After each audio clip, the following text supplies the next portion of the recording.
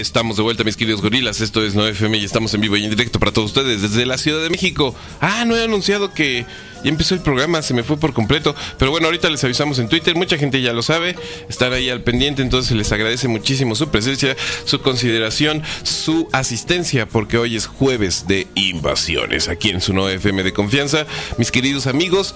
Y estamos muy contentos porque en estos momentos el señor Cristian Ader está en la casa. ¿Cómo estás, mi querido Cristian? Buenos días. ¿Cómo estás? ¿Cómo amaneciste? ¿Qué tal el pinche chubasco de ayer? Terrible, ¿no? Sí, yo tuve experiencias brutales, maestro. ¿Sentiste miedo? No, hay. Ahora hay. para acabarla de joder, Hay goteras. hay goteras, mi querido amigo. O sea, eh, por si no lo saben, aquí en FM luego hay muchos problemas de agua. Sí. Y Exactamente. supuestamente no hay agua. Sí. Pero en este momento. Sí, pues ahorita la- el agua se está filtrando por por lo menos ya ubicados dos o tres lugares muy específicos. Uno de ellos directamente en donde yo tengo que pasar tiempo sensato y agradable y reconfortante. ¿Qué te pasa, cabrón?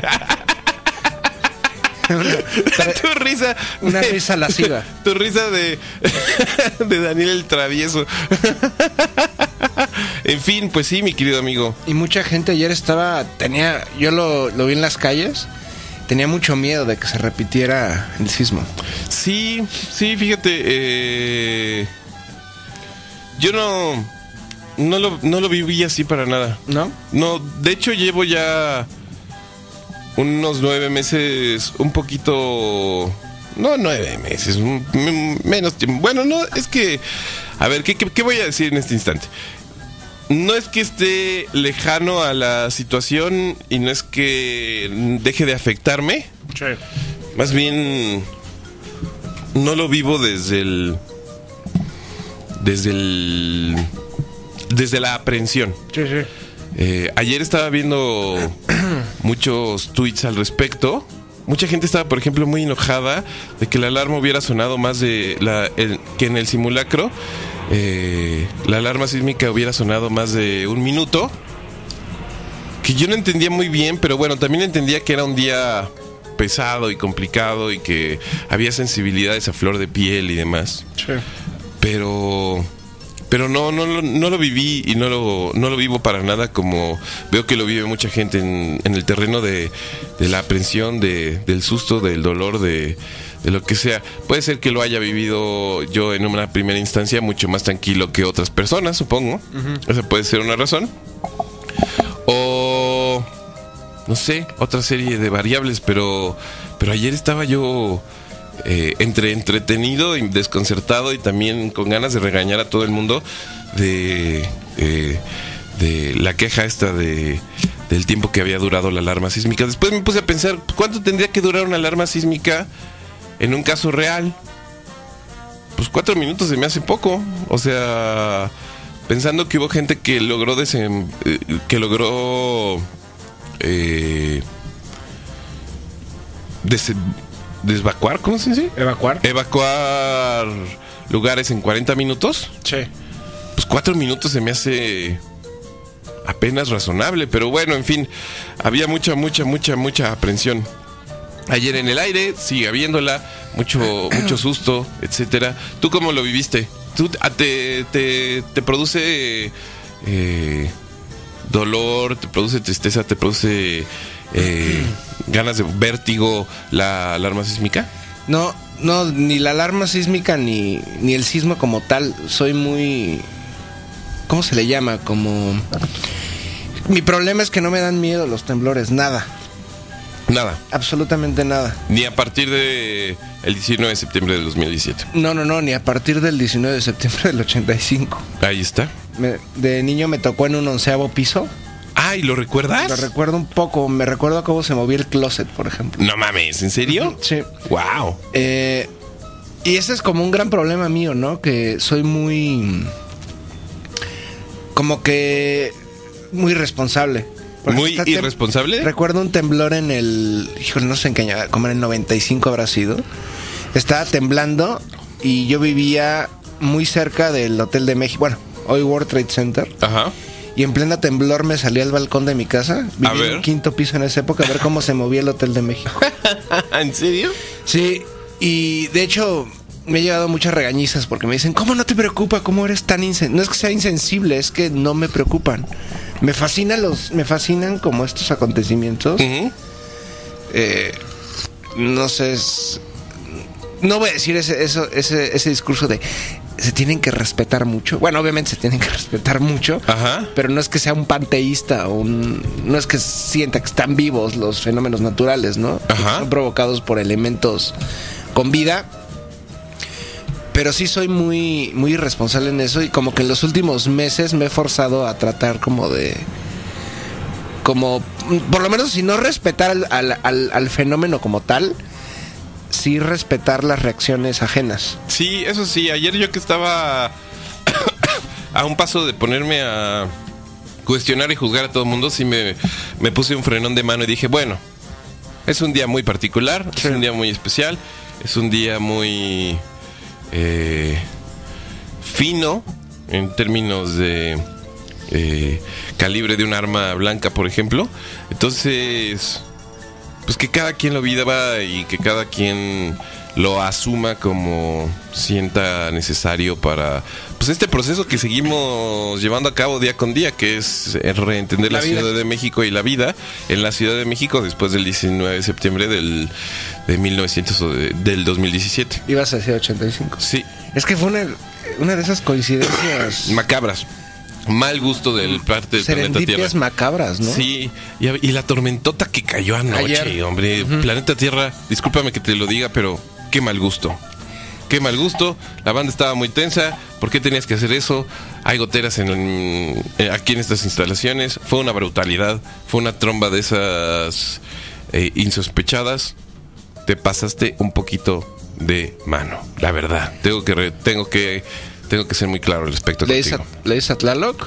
Le digo, sí, claro, a las fuerzas de la naturaleza, a Tlaloc, a quien me quiera escuchar en estos momentos, a Poseidón, a Ra, a quien en estos momentos esté atendiendo la línea, se están pasando de lanza. Sí, estuvo muy, muy fuerte. Sí, Y justamente teníamos el año pasado, poco antes de que se conmemoraran, ¿cuánto fueron? Eh, 32 años del 85. pues iba a ser 2017, desde el 85, sí, 32, años. 32 años. Estábamos planeando, bueno, un programa sobre justo sismos. Sismos y sobre todo la reacción de la ciudadanía al Ajá, respecto. ¿no? en el 85. Y de pronto ocurrió pues, el temblor del... Pues de hecho, el programa eh, tembló un martes y nosotros nos íbamos a ver ese jueves y dejamos de vernos un par de meses Sí, después de después de el 19 de septiembre. Sí, a mí, ah, a mí en lo particular no me fue muy mal, pero por ejemplo en la do- donde vive mi madre ahí en Narvarte, Ajá. en la en las tre- en la en su cuadra y en las siguientes dos, un edificio se cayó Ajá. y cuatro resultaron pérdida total, los sacan- ya los demolieron. ¿Ya los demolieron? Ahí en Morena. Es de las de las zonas afortunadas en donde ya esos edificios están a ras de suelo. Sí, O sea, que el 40% sigue de pie. Es, es que vamos, vamos a ir viendo un historial de... Realmente cuando digo, o sea, no, no, no es que sea esa señora quejumbrosa de la esquina que siempre se queja de todo, pero realmente construir en Narvarte, y Ajá. concretamente entre más al, al, al norte de Narvarte se bañan, es un riesgo, porque donde está, por ejemplo, Narvarte, eh, oriente y poniente, a la altura del río de la Piedad, el río de la Piedad es viaducto. Es, es un riesgo porque Narvarte hace 500 años estaba... Había temporadas en que estaba, era parte del lago y había temporadas en que era una zona pantanosa, dependiendo de la subida de las aguas, ¿no? Cuando se deseca el río, perdón, cuando se deseca el lago se crean ríos. Uno de ellos es el río de la, de la, de la Piedad, que según, si no me equivoco, es una, eh, un ramal de este río, el río Becerra, y otros tantos que bajan. Por ejemplo, hay un río San Borja también. El- había un río Xola antes. Y toda esta zona está totalmente reblandecida. O sea, es como un pastel aguado, lodoso. ¿Un pastel o un flan? Un flan más bien. O sea, no, no, no, no soy bueno haciendo alusiones y analogías culinarias. Mm, Yo creo que le diste, lo hiciste ¿Le- bien. el clavo? Sí, Sí. le diste bien, le lo hiciste bien. Y siguen construyendo en este momento en esa zona de Narvarte. Entonces es como jugar, es una ruleta rusa, ¿no? Sí, claro. O sea, no es casual que tantos edificios de la de, de este lado de, Nar- de Narvarte y del otro lado en la Roma Sur hayan caído. Hayan caído. Entonces, tal vez no, no creo que no, no, no es un afán morboso hacer este este recuento porque no nada más vamos a hablar de sismos. Vamos a hablar de todos los desastres naturales que, han que afectan constantemente este país desde tiempo inmemorial, desde el, desde el nacimiento de los tiempos. Y por supuesto, uno- un fenómeno de estos es los temblores, que iban de la mano siempre el día a día de los pueblos mesoamericanos, concretamente los del altiplano, les iba, les iba bastante mal. Había temporadas en que, por ejemplo, hay un, hay un libro que encontré que es como la historia de los desastres en Mesoamérica, de cómo reaccionaba la gente. Por ejemplo, cuando temblaba en la Ciudad de México, las, las madres ponían a sus hijos boca abajo, acostados en el suelo, como abrazando la tierra. Ah, para Para, calmarla. cal- para calmarla. Oh, qué bonito. Bueno, señores y señores, pues ya escucharon, ya tienen más o menos cierta idea. Así es, el día de hoy hablaremos de algunos de los peores desastres naturales que el que México es sobre México. Creo que vamos, sí, es todo México, es todo el país y de repente nos vamos a saltar un poquito, tal vez a Guatemala. a Guatemala. Pues bueno, una zona tremendamente sísmica también. Ahí está, señores señores. Y Guatemala viene saliendo, entre comillas, de uno de los desastres naturales también más brutales de su historia. Y vamos a hablar de un fenómeno parecido, pero que fue mucho peor que ese vol- esa erupción. Ok, no nos cuentes más. Estamos listos para eh, descubrirlo junto a ti, mi querido Nader, en este jueves de invasiones. Entonces, ya lo saben, lo saben muy bien. Desastres natura- naturales aquí en el ombligo de la luna. No se vaya a ningún lado. Comenzamos después de estas canciones. Todo menos miedo. Eh, Estamos de vuelta, mis queridos gorilas, y con esta pieza cataclísmica, completamente apocalíptica y con dos o tres toques de fin del mundo, comenzamos esta sesión de invasiones. Con el señor Christian Nader, hoy le daremos un recorrido a todo el... Pues básicamente todo el mundillo oscuro del desastre natural en este país. En México, o lo que fue- es ahora México, y antes fue México, pero en diferentes dimensiones, diferentes territorios, etcétera, pues son muchos siglos de historia. Entonces, mi querido Cristian, ¿por qué se te ocurrió esta, este tema? Básicamente 19 de septiembre. Pero de 85. Ahí está. Lo, con- lo concebí an- eh, antes de que ocurriera el del 19 de septiembre del 17. Ahí está. Cuando la naturaleza ataca. Buenísimo. El sesiones de, la sesión de hoy en, en Invasiones se llama justamente así.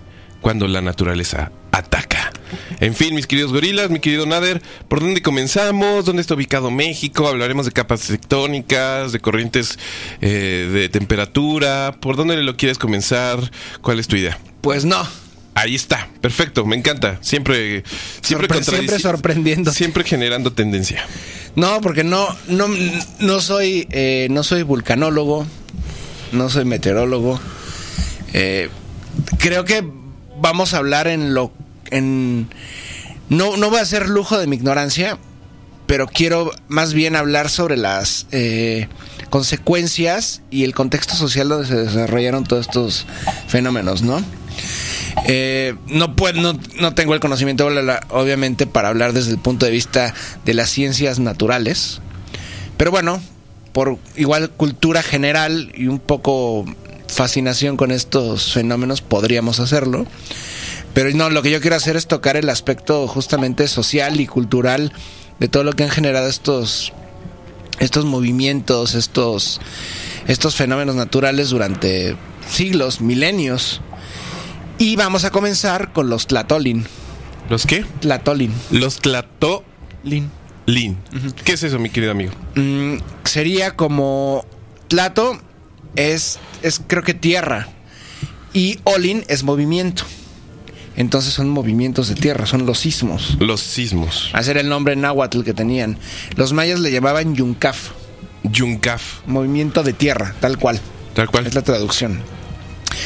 Que obviamente desde, desde siempre, desde que hay presencia humana en suelo mesoamericano, o sea, por lo menos dependiendo si nos vamos en la tesis eh, tradicional 15.000 años, si exageramos un poco, que yo soy de esos, esas personas que exageran, Ajá. yo diría que unos 25 o 30.000 años hay presencia eh, humana en lo que actualmente es el altiplano mexicano Ajá. antiguo, que yo creo que ya está muy rebasado ese, ese concepto de cuenca de México, porque de que queda cuenca, no queda cuenca. Ajá.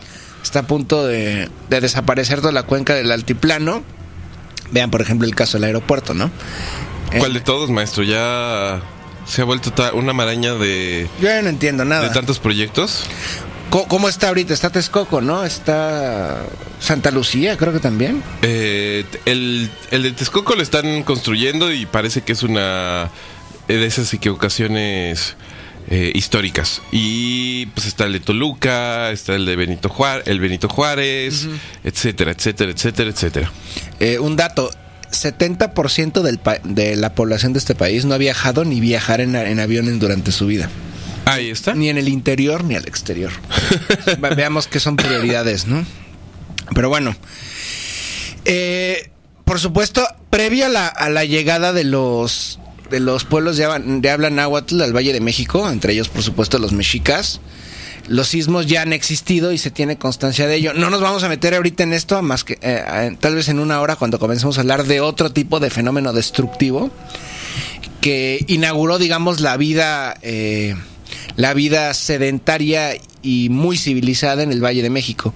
Sin embargo, ahorita concretamente los sismos, pues se tiene constancia de ellos desde por lo menos tres milenios. O sea, que hayan afectado a, las personas que vivían en este, en el Valle de México que previamente no eran de habla náhuatl. En el caso, por ejemplo, más emblemático es Cuicuilco, ¿no? Pero Cuicuilco no sabemos qué lengua hablaban. No Ahí se, está. no se- no se conoce, al igual que en Teotihuacán, no se tiene como muy, muy bien definido. Ni siquiera el nombre de Cuicuilco sabemos. O sea, Cuicuilco es el nombre náhuatl, Ajá. pero no es el nombre original del lugar. No- Ah, no ok, lo conocemos. ok. Pero bueno, los mexicas, eh, ya asentados en su capital, Tenochtitlan, un islote en el, en- en el lago, de, en el lago de Texcoco, eh, tenían registro de todos los sismos que los, que los afectaban, ¿no? Concretamente, el primer gran sismo que se tiene constancia, todo esto se saca a través de los códices y, y de todo el, eh, digamos, el, eh, el historial que fue, que fue transmitido a los cronistas españoles cuando llegan a Mesoamérica por parte de los tlacuilos eh, eh, mexicas. El primero, el gran sismo es de 1455. Ujú. Es el primer gran sismo que creo que es 1400. 55. ¿Y esto se tiene registro en dónde, Master? Este eh, en los anales de Tlatelolco. Ahí está. Eh, de ¿Qué son- hecho, bueno, antes que nada, ¿qué son los anales de Tlatelolco? no, pues son, es, son un recuento de todos los hechos eh, que no son, no son, no son en, en- en esencia no son originales mexicas. Son a partir de, eh, de la versión transmitida a los españoles. Y cuenta todas las peripecias vividas, y- vividas por, por, por los mexicas desde, desde la época del mito, ¿no? Desde la época de la llegada a tierras mesoamericanas, ¿no? Concretamente del sismo de 1455 hay dos líneas, pero se sabe que se, se- se lee, las chinampas se derrumbaron, punto. Punto. O sea, y esto se puede ver eh, precisamente, po- es más difícil verlo en, una- en un ámbito, digamos, eh, tan hídrico como es el Valle de México, Ajá. porque en el lago, pues obviamente no queda como. No queda presencia de esto, no es, ma- es muy difícil. Pero sí se puede ver en tierra firme. Entonces, generalmente en las, en las aldeas. eh, no principales del, del Valle de México incorporadas a Tenochtitlan, generalmente cuando hay un sismo hay incendios y hay derrumbes. Entonces se construye posteriormente encima de estos, ¿no? Y por eso, a partir de eso, se puede saber que sí, efectivamente ocurrió un sismo en tal fecha y se determina, ¿no? Entonces, eh, vamos por- por- creo que no lo hemos explicado por qué se llaman Tlatolin. Eh, Tlali es el glifo de tierra. Olin es el glifo de movimiento. Ok. Ok, si los combinas sale, por supuesto, Tlatolin, ¿no? Ahí está. Entonces, eh, hay otro temblor que es en el año 9 caña. Nueve caña. Eso por ahí, ¿de cuándo es maestro? 1475. Me encantan esas fechas. Sí, el Son año conejo. Ajá. Yo nunca he determinado cuál es mi año, pero estaría interesante hacerlo, ¿no? Eh, eh, reina, si no me equivoco, Axayacatl. Axayacatl. Axayacatl. Estamos hablando de 21, 40 y 46 años previos a, a la caída de Tenochtitlan, Ujú. ¿ok? 1475. Reina, eh, reina Axayacatl y se reporta nuevamente eh, deslaves, pero se reporta también un fenómeno muy curioso. Hubo un tsunami. ¿Un tsunami, tsunami? en, el, en el lago de, en el lago. ¿En serio? Sí, sí, sí. ¿Por qué? ¿Por los movimientos Sí, sí. internos de la Tierra y, Sí. y el lago? Recordemos que no era en sí un lago, eran varios lagos. Era Texcoco, Chalco, Xochimilco, creo que el otro se llamaba Zumpango. Y, no, y me falta otro. Son- eran cinco lagos. Ajá. Concretamente en la zona del Valle de México. Eh, O sea, en, en, digamos, eh, en el centro del Valle de México, pero había otros pequeños lagos en todo, hacia el oriente y hacia el norte. Ok. Entonces sí, hu- eh, Texcoco fue destruida. No totalmente, pero sí parcialmente.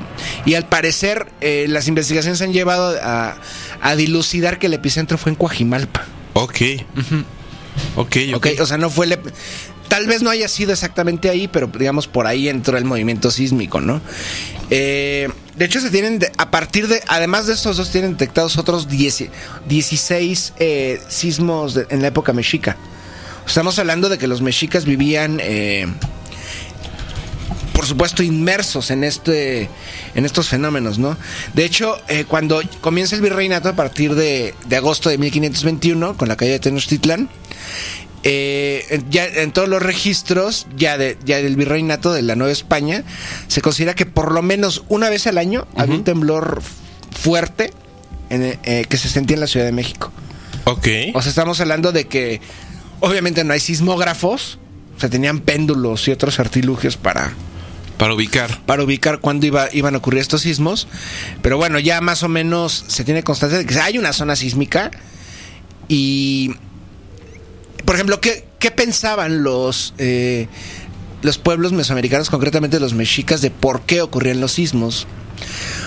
Obviamente nos estamos yendo al pensamiento mágico, religioso, mitológico. Yo creo que también... eh, es como la constante cuando se habla de cualquier pueblo de la antigüedad, ¿no? Que requerían, a las- eh, siempre utilizaban la superstición para explicar esto, ¿no? Pero, por ejemplo, concretamente, en, en cuanto a lo religioso, ellos pensaban que, que el sol tropezaba. Quedaba ahí un traspié. Sí, o en, o en ese caso la luna podría hacerlo también, ¿no? Ok. Entonces, eso de- pensaban que provocaba los sismos, pero yo, yo siempre he creído que no, no eran pueblos tan, justamente tan vinculados a los supersticios. Yo creo que sabían de que la tierra en sí se mueve. Tal vez no tenían, por supuesto, un concepto, al igual que los españoles, de que hay unas capas tectónicas que se mueven, que chocan, etcétera. Pero sí había como una una forma de entender la realidad y entender el mundo y de prevención. Porque, por ejemplo, en el área maya, Ajá. eh, esto lo vamos a ver, por ejemplo, cuando hablemos de huracanes. Pero en el área de Maya, por ejemplo, los, los techos de los, de, de los, de los palacios y de los observatorios eran construidos en bóveda. Precisamente para que la bóveda pues compensa el, digamos, el movimiento, ¿no? El peso de. Peso. Bueno, el- la fuerza de. La fuerza del sismo. Eh, entonces sí había una conciencia del poder de estos sismos. No sé hasta qué grado de qué los originaba. Pero vaya, no eran pueblos que estaban totalmente desinformados y que tenían que eh, hacer sacrificios para cualquier eh, fenómeno natural, ¿no? O sea, hay conciencia de ello y, y por lo que hemos visto se, eh, en todos los programas de los que hemos hablado, de lo poco que hemos hablado de México, porque tampoco nos dedicamos tanto a México, nos damos cuenta que, el- por ejemplo, el mito de Quetzalcoatl pues, es una farsa eso. Cuando llegan los españoles no pensaban que Cortés fuese Quetzalcoatl. Es una tontería eso. ¿En qué te basas, Nader? No, pues- O sea, estabas ahí, platicaste con, con la banda. ¿Qué tal si uno sí lo pensó y solamente Bueno. esa persona que lo pensó se lo contó a otro y esa persona se lo contó a otro? Pues también podía tener vitiligo. Llegaron los bolillos. Vitiligo. Ahí está. Entonces, por ejemplo, ya hablamos de. Claro, había, había tradiciones populares, ¿no? Por ejemplo, había una rarísima que cuando temblaba la gente bebía agua y escupía el agua sobre las co- sus pertenencias y sobre sus casas Ajá. para que no se dañaran. No llegué eh, a, a- a- no concluí de por qué hacían eso, eh, en sí cuál es el origen del agua. Ajá. Tiene que ver, supongo que no lo sé. Igual tal vez para sentar la tierra. Ujú. No lo sé. Igual que de que tú avientas con un, con un balde de agua o con una jícara para que no se levante la tierra. Supongo que tiene algo que ver con esto, ¿no? Bueno, pues digo, saltando y haciendo conexiones igual y un poquito arbitrarias, o seguramente completamente arbitrarias. eh, en Chamula, San Juan Chamula. en San Juan Chamula y en Chiapas, Las molitas. una de las formas que tienen para entrar en comunión con el santo, la deidad X, Y, Z hasta el infinito, eh, es escupirles Coca-Cola, buches de Coca-Cola. Eh, no tal cual como gargajo, sino como este, esto, como aspersor, como un y así empieza como un tipo de conversación con, Sí, también es mucho con de las la- deidades. En la santería lo utilizan mucho el, con el alcohol. escupir, ¿no? Alcohol o ron. Y bueno, ¿qué otras, por ejemplo? eh, había otra tradición de que tomaban a, a sus hijos por las sienes para que no les, no les pasara nada. O sea, los levantaban, los agarraban de aquí, de la cabeza, y los elevaban hacia el cielo para que no les pasara nada. Eh, se golpeaban las bocas. Cuando gritaban, se pegaban en las bocas. Muy, muy raro. Pero bueno, es otro contexto, es otro totalmente, pues es otra realidad totalmente Sí, distinta, claro. ¿no? Porque por más de que surjan estos grupos, por ejemplo, los grupos neomexicas, eh, pues, creo que está totalmente descontextualizada en la actualidad, ¿no? Se ha perdido totalmente eso. Eh, y bueno, es, ine- es inexplicable, ¿no? De hecho, todas estas tradiciones quedan enmarcadas en la Kipalehuilla Tla- Tlaltipetetet. ¿Qué es eso? Es como todas las tradiciones concernientes a los sismos. Ok. Ok. Ok, ok, ok. Pero bueno, vamos a hablar de otro sismo, ya concretamente en el periodo virreinal, en el periodo colonial. Eh, ya hablamos, eh, por ejemplo, de los dos grandes sismos que previos a la conquista, que son del 455 y del 475. Eh, pero bueno, el- eh, por ejemplo, el 11 de octubre de 1523 es el primer sismo de la colonia fuerte. Que se tiene detec- detectado.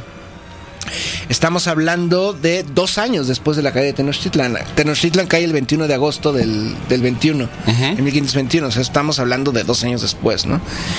Eh, por ejemplo, y generalmente, siempre, de que había un, siempre que había un sismo, empezaban a hacer tanto los mexicas como los españoles. Esto, esto es, no es característica nada más de los pueblos mesoamericanos. Siempre conectaban todo a un contexto social, ¿no? Hay un sismo, es porque hicimos algo. O es porque nos lo avisó un eclipse o un fenómeno natural previamente nos, nos, lo, nos avisó de que iba a ocurrir esto, ¿no? O, por ejemplo, en el caso de los españoles, en 1570 hay otro sismo y coincidió cuando cambian de, virreina, de, de virrey. Ujú. Entonces pensaban que era un mal augurio, o sea, eh, había, eh, digamos, Dios o la divinidad que quieran elegir, estaba descontenta con el nuevo régimen que había, ¿no? Por ejemplo, en 1500, eh, 1595, pero en 1545 hubo un sismo fuerte, hablando de Chiapas, hay un sismo fuertísimo en Chiapas en el 45. Ok. ¿Y qué ocurrió? Ah, coincidió el sismo con la llegada de Fray Bartolomé De las de casas. las casas. Entonces empiezan a justamente a dar a hacer todas estas conexiones, que es lo mismo que podríamos considerar hoy en día los conspiranoicos, ¿no? Que por más que diga la ciencia, la geología y la sismología de que no hay con y la física, por supuesto, de que no hay conexión alguna, por ejemplo, con el sismo del 19 de septiembre del año pasado con el Ujú. del 85, pues la gente lo va a buscar y más porque los números coinciden, ¿no? Es, es un, es un mal viaje. Es un mal viaje, amigo. Entonces, de hecho, no, no tengo idea, no, no he hecho un recuento de, de sismos o desastres naturales en otras partes del mundo donde coincidan los números. No sé si sea el único, la única gran coincidencia tétrica que haya, ¿no? No creo, la verdad.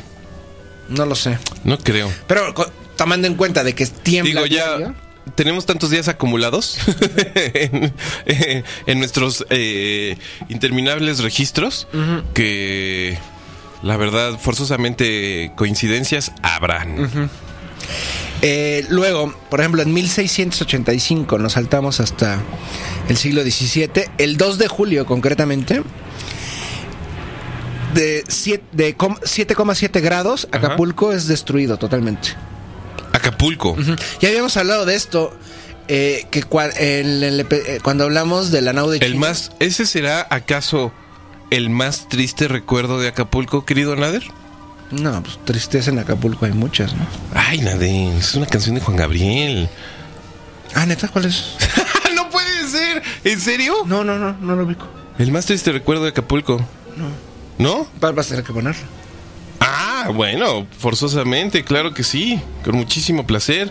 Una canción de, can- de Juan Gabriel que hay muchas teorías. Unos dicen que es para su mamá, otros para un novio, etcétera, pero es una canción tristísima que cantan pues en todos lados. Porque el amor, eterno. el amor- Amor eterno. Ah, no, ese sí lo he escuchado. Ahí está, ¿Es esa? el más triste recuerdo de Acapulco. Ah. Uno de los versos de esa canción. Ah, no, no, no. No, El más triste recuerdo de Acapulco. No, no soy, no, no estoy metido en la subcultura de, de Juan Gabriel. Que hay convenciones de Juan Gabriel y, y la gente va, asiste. ¿Es un dios, maestro? Es un dios. Es un dios. Des- después de. Se, se alejó del terreno de lo. Ah, pues en la fiesta de aniversario van a tener a al gemelo parásito de Juan Gabriel. Qué horrible forma de describirlo. El gemelo, el gemelo parásito. Qué horrible persona eres, Nader. Es un culto al que hay que respetarse, el culto a Juan Gabriel. Pero bueno, en fin, esa canción se referirá a el sismo de 1600 y pico. No lo creo. ¿No lo crees? No lo creo. Ahí está. Pero hablamos de esto cuando hablamos de, eh, de Filipinas. Ajá. Cuando llegaba ahí la, eh, la, nau, la de Manila, Acapulco. Hubo una época que no pudo hacer nada porque Acapulco estaba totalmente destruido. Ajá. Entonces tuvo que, creo que ir a, ir a un puerto, no recuerdo a qué puerto, ¿no? No pudo, no pudo eh, llegar ahí. Entonces, eh, por ejemplo, en 1711, en el 15 de agosto, Ujú. Eh, Puebla, Tlaxcala y Ciudad de México, otro, otro poderoso sismo. Ujú. 1732, estamos hablando de 50 años después del sismo de Acapulco, el 25 de febrero. Y estos ya eran fenómenos registrados por cronistas españoles. Sí, sí, sí. Claro. O sea, no se tenía la escala esta. Mercalli creo que se llama. Ajá. Pero más o menos ya se podía, ya se podía como determinar por la- el movimiento de las cosas, de los péndulos, etcétera, de qué tan fuerte eran, ¿no? Y se, Ok. compa- y se coteja con los datos actuales, se coteja con los datos actuales y más o menos se determina de qué fuerza. ¿no? Eh, por ejemplo, eh, en 1732, el 25 de febrero, viene un segundo sismo en Acapulco. Ah, ok. 50 años después y vuelve a haber destrucción total. Luego, en 1787, atentos con esto, se llama en Barra de Alotengo. Barra de, Alo- Alotengo. de Alotengo. Eh, en la, creo que es en la costa oaxaqueña, otro sismo que se siente en, en- en todo Oaxaca y, Acapu- y Guerrero de 8 8,6. De 8,6. Es de los de más intensidad. es de los más fuertes que se ha registrado en en, en la época, digamos, moderna. Es, si no me equivoco, como el 8,6 es, un- 8,6. es es como si Dios pasara el dedo por una zona, ¿no? Sí, es el más, el más fuerte que se tenga registro, el sismo, fue el de Chile, el de Arica, Ajá. creo, el del 60 y... Híjole, 63 o 65, algo Ujú. así. Fue de 9,3. Que eso es un Sí, sí, sí, que salía... el jarabe tapatío por abajo de la tierra. Sí, sí, sí, eh, que el, Chaca, sis- chaca, te chaca, cha, chaca. el sismo provocó un tsunami, en, eh, creo que en Hawái, en Japón. Fue impresionante. El siguiente más fuerte creo que fue el de Alaska. Creo que en los 30, en los 40, que también fue así como de 8,9 o 9,1, algo así. Que lo que ocurrió es que salía agua del subsuelo ya. A ese grado. A ese grado, O sea, sí, se sí, fracturó a tal grado. Sí, la tierra. La tierra que dejó ver y presumió sus mantos acuíferos. Sí. Wow. O sea, tomen en cuenta, estamos hablando el, del, el de 1787 en Oaxaca y Guerrero fue de 8,6, ¿no? O sea, que supera por mucho a, por ejemplo, al del el año pasado, que el año, el año pasado no fue tan fuerte. El, del año pasado fue de 7,1, ¿no? Algo así. Algo sí, así. exacto. De hecho, está como el, te- el temblor olvidado, ¿no? El que afectó fuertísimo al istmo. Sí, Fue ese- mucho más fuerte. Ese fue, ese fue mucho más fuerte. Y ahí vemos cómo está justamente la tensión incluso centralizada. Hasta en desastre está centralizada la tensión en Imagínate. el Valle de México, ¿no? En 1818 el de Co- Colima es casi totalmente destruida. Fue de 7,3 De 7,3 en Colima. ¿En qué año? En mil se- 1818. 1818. 18, tres años antes de que se consumara la independencia de este país. En 1845, ya en el México independiente, eh, un, un sismo muy fuerte que se siente en la Ciudad de México, que a- antes había un hospital que se llamaba San Lázaro, el Hospital de San Lázaro. Fue totalmente destruido el hospital, se sintió en Xochimilco, Tlalpan y Coyoacán. De hecho, en, en donde está el Hospital de San Lázaro, cerca y el, justo está el antiguo templo de San Lázaro. Tal vez si algún día han ido a la colonia Morelos, eh, se han ido a comprar algo en- a Tepito. Por ejemplo. lo hayan visto. Es como una fachada así enorme, muy, muy bella. Creo que es muy, es barroco, que está semidestruido desde el siglo XVIII y no ha sido ocupado. Creo que en este momento hay una de estas iglesias, eh, de estas brasileiras cristianas, que utilizan el terreno, pero no es la iglesia. Esos carnales eh, se manejan como el musgo, ¿no? Sí, Donde sí, encuentran un pedacito, ponen su cruz. De hecho, tal vez lo hayan visto porque hay un video de los Rolling Stones Ajá. donde filman ahí en las ruinas del templo de San Lázaro. ¿Neta? Wow. Eh, por ejemplo, en 1858, Texcoco, que ya había sido devastada en la época precolombina, vuelve a ser destruido por, por, otro, por otro terremoto, ¿no? Terremoto en el 1858. Luego, por ejemplo, vámonos hasta ya, digamos, al México del siglo XX, ¿no? 1911, el 7 de junio. ¿Qué ocurrió el 7 de junio? Eh, Madero entra, entra a la Ciudad de México Ok. de 1900, el 7 de junio de 1911. Es la, la entrada, la entrada triunfal El- de Madero. El otro sismo antes del de Madero, ¿en qué año fue? 1858. Ah, ok. perfecto. O sea, había. Yo encontré una lista, digamos, un catálogo enorme de todos los sismos que se tienen registrados. Ajá. Y por lo general, cada año hay uno, uno o dos. Pero estos son como los más emblemáticos, ¿no? los, pues por lo menos los que hasta donde nos has descrito dejaron secuelas y destrucción contundente y sin eh, inmemorable. Sí. De hecho, eh, este se le llama el terremoto maderista. El terremoto maderista. Como alguien tan pequeño pudo haber provocado un sismo tan poderoso. Pues, tal vez los espíritus. Los ¿no? espíritus, Los maestro, espíritus. acuérdate que tenía una conexión muy Espiritual. profunda con, con el plano de lo astral.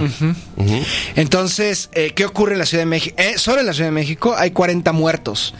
Eh, por ejemplo, eh, mueren treinta y tantos artilleros que estaban alojados en, en la calzada México-Tacuba. Cerca del colegio militar mueren eh, bueno no, no, en esa en esa en ese tramo ya no, se, eh, no es México Tacuba es Riviera de San Cosme. Pero bueno por ejemplo los rieles del, del tranvía se doblaron uh -huh. se movieron y hay una ciudad que se llama Ciudad Guzmán que está en Jalisco que fue totalmente destruida no porque el epicentro creo que fue si no recuerdo si mal no recuerdo en, entre Jalisco y Colima. Ok. Entonces estamos viendo bueno son terremotos atroces no luego en 1907 volvemos a Acapulco. Ok. En Guerrero eh, hay, un, hay un sismo que se... Eh, no sé, es entre 7,9 y 8,2. Ok, ok. O sea, es des, después 7,9 del... y cuánto? Entre 7,9 y 8,2. Virga. O sea, estamos hablando de que fue después del temblor de 1787. Ajá el segundo más fuerte que ha habido en la, en la República Mexicana. Registrado. Registrado. Me imagino que... Ah, ¿En qué año fue? Mil, 1907. Ahí ya estamos utilizando la escala que se utiliza hasta el momento. O bueno, con la que hemos registrado por lo menos en el no, siglo XX. No, creo que no. Creo que no. Mm. Pero este, este terremoto es recordado... Bueno, supongo, no sé si hay, conozcan Acapulco, supongo que por lo menos los que vimos en el centro del país hemos ido alguna vez. Uh -huh. Pero todos conocemos esta canción. Amor eterno. Inolvidable. Ah, ¿verdad? Ah, ¿verdad? Es caíste, no, no, no. caíste, caíste totalmente. Eres un snob. No me sé todas las. las ¿Cómo se le llama? Todas las frases. Todas las frases de la. Pero sí la conoces. Sí, sí la conozco. Ahí está. Nada. Pero no, no sabía esa de Acapulco, por ejemplo, ¿no? El más te recuerda Acapulco. Pero yo creo que si Juan Gabriel estuvo en Acapulco, estuvo en esa zona. En la zona. ¿En Caleta y Caletilla? No, más para arriba. ¿En, en Punta Diamante? No, más. más no, no. Soy pobre, Master. Cuando, no. cuando Juan Gabriel fue allá, no, no estaba Punta Diamante. Yo creo que estuvo más bien por el. Bueno, en una zona de. De, de un caché muy. Muy acá. Muy cuestionable, ¿no? eh, entonces, el, el, el, temblor de mil, 1907 en Guerrero fue entre 7,9 y 8,2. Y les preguntaba de Acapulco, les decía de Acapulco porque quien ha ido a Acapulco, más allá de la costera, porque el turismo solo se adentra en la costera y no pasa de ahí para arriba, Ajá. hay una avenida que se llama Avenida Cuauhtémoc. Ok.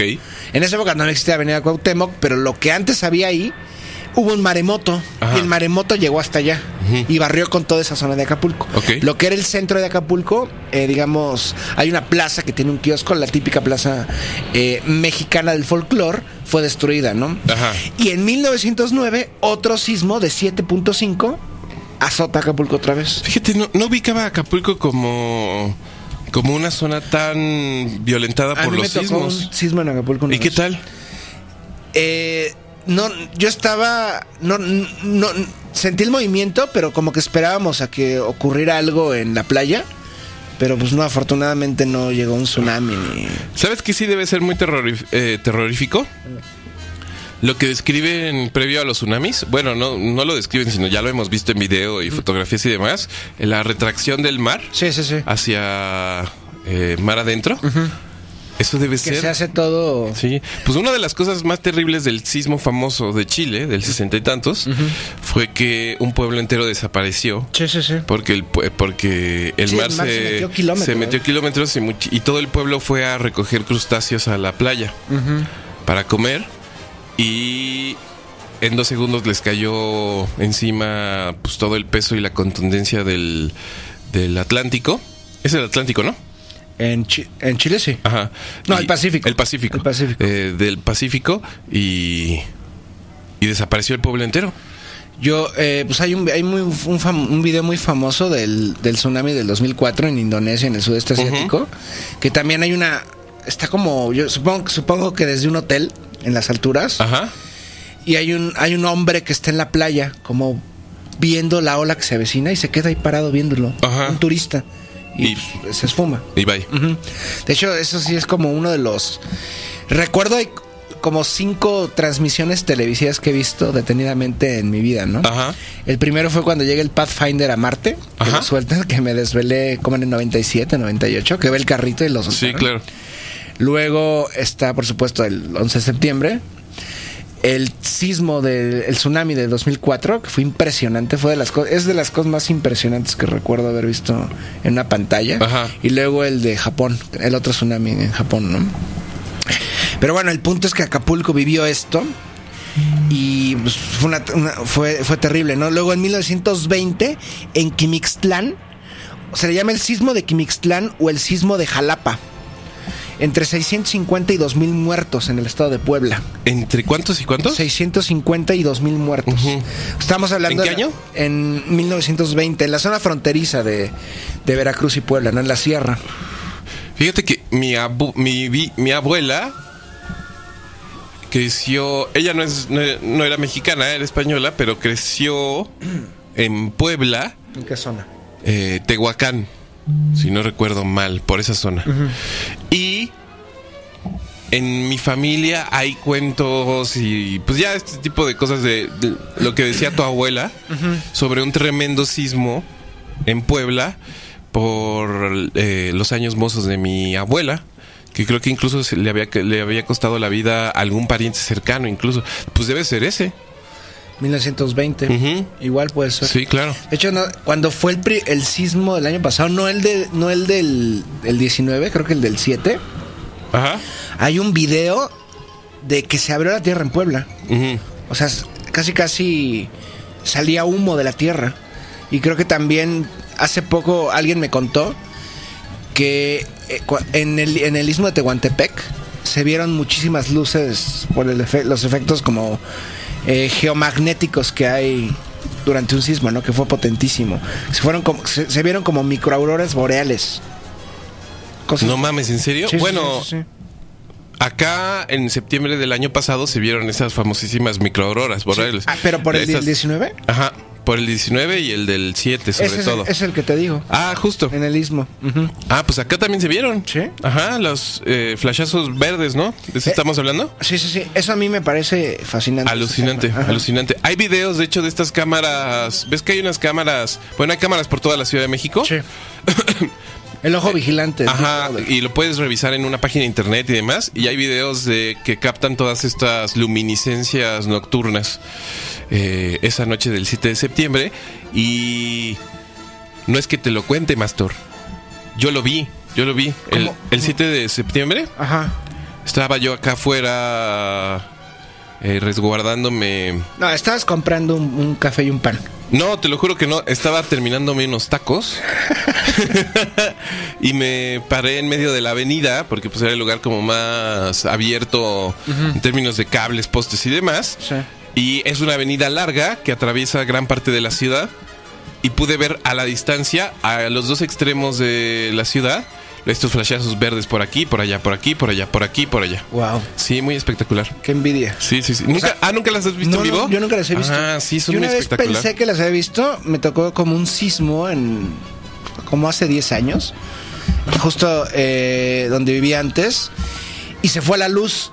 Entonces empezaron a ver luces por todos lados y yo pensé que eran estas, estos fenómenos, pero no, eran los transformadores explotando. Ah, pues fíjate que cuando yo lo vi, lo primero que pensé era que eran transformadores, pero era una luz tan intensa y tan hacia la estratosfera que lo dudé. Y después lo segundo que pensé es que eh, el centro histórico entero había estallado y que había habido una explosión gigantesca o algo así, que de ahí había sido el relumbrón ese. Pero no, después ya me enteré y investigué porque era muy desconcertante. Y resulta que la energía que se genera en las capas tectónicas es tan fuerte y tan violenta que activa unas partículas que están flotando en la atmósfera, que usualmente pues viven tranquilas y llenas de sosiego en este hermoso planeta azul que compartimos con ellas, salvo en esos momentos en donde la energía se, se desencadena tal cantidad de energía que se encienden como foquitos. Ujú. Te envidio mucho. Bueno, pues ahí está. Eh, te- pero de la fea. Es que soy fanático de estas cosas. Ah, ¿sí? Sí, sí. Ah, bueno, pues ahí está. Por ejemplo, uno de mis pasatiempos favoritos de pequeño era ver las tormentas eléctricas. Ah, Me ¿sí? encanta verlas. Pero bueno, regresamos a, a los sismos. Pasamos de este sismo que hubo en el estado de Puebla a 1932 en Jalisco. Es, no se sabe bien porque obviamente no estaba, todavía no estaba el protocolo de medición bien definido, ¿no? Pero se estima que fue entre 8,1 y 8,4. Eh, fue en Jalisco, se siente en Jalisco, ahí en Colima, y arrojó un saldo de 300 muertos. 300 muertos.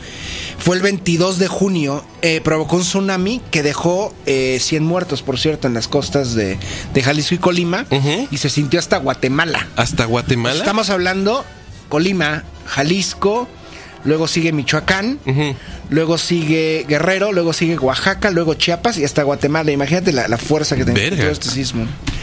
En 1957, que ha sido uno de los más famosos de sismos, tristemente famosos, de la historia de este país, que fue entre co- 7.7 y 7.9. 67 muertos. ¿Por qué es famoso? Porque se le llama el sismo del ángel. ¿El sismo del ángel? ¿Por qué? Porque se cayó el ángel de independencia. Ah, ¿en 1900 qué? Eh, 57. Ah, fíjate que mi papá tiene una historia bonita de eso. Porque él se dio cuenta que estaba temblando o que iba a temblar o que algo raro estaba pasando porque él iba en bicicleta pasando cerca del zoológico de Chapultepec y de repente se escuchó como un silencio total.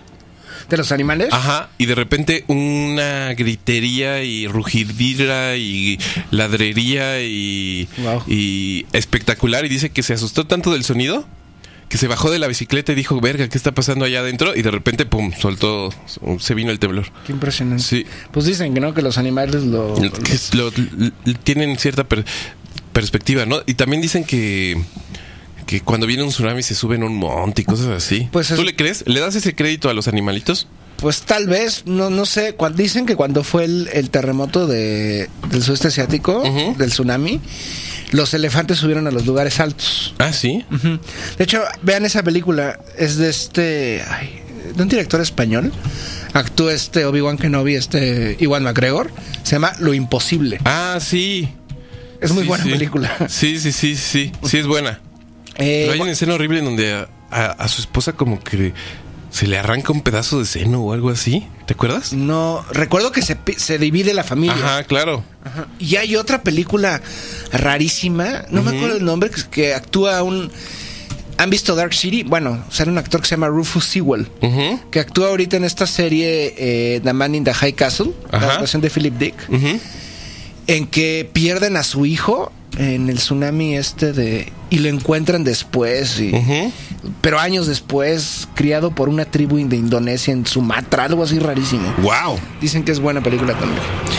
Eh, ¿por qué es famoso este? por supuesto porque se cae el ángel de hecho si lo quieren ver la cabeza del ángel que cayó está en el, en el archivo de la Ciudad de México Ah, ¿en serio? sí sí sí ahí la tienen ¿Es otra cabeza la que está ahorita? sí sí sí la tuvieron que hacer otra cabeza Ah. el, el archivo de la Ciudad de México está ahí en República de Chile Sí, porque ahí iba a ser la tesis, pero no me acuerdo exactamente dónde. Pero ahí por, por donde está la zona de vestidos de novia, en el centro histórico.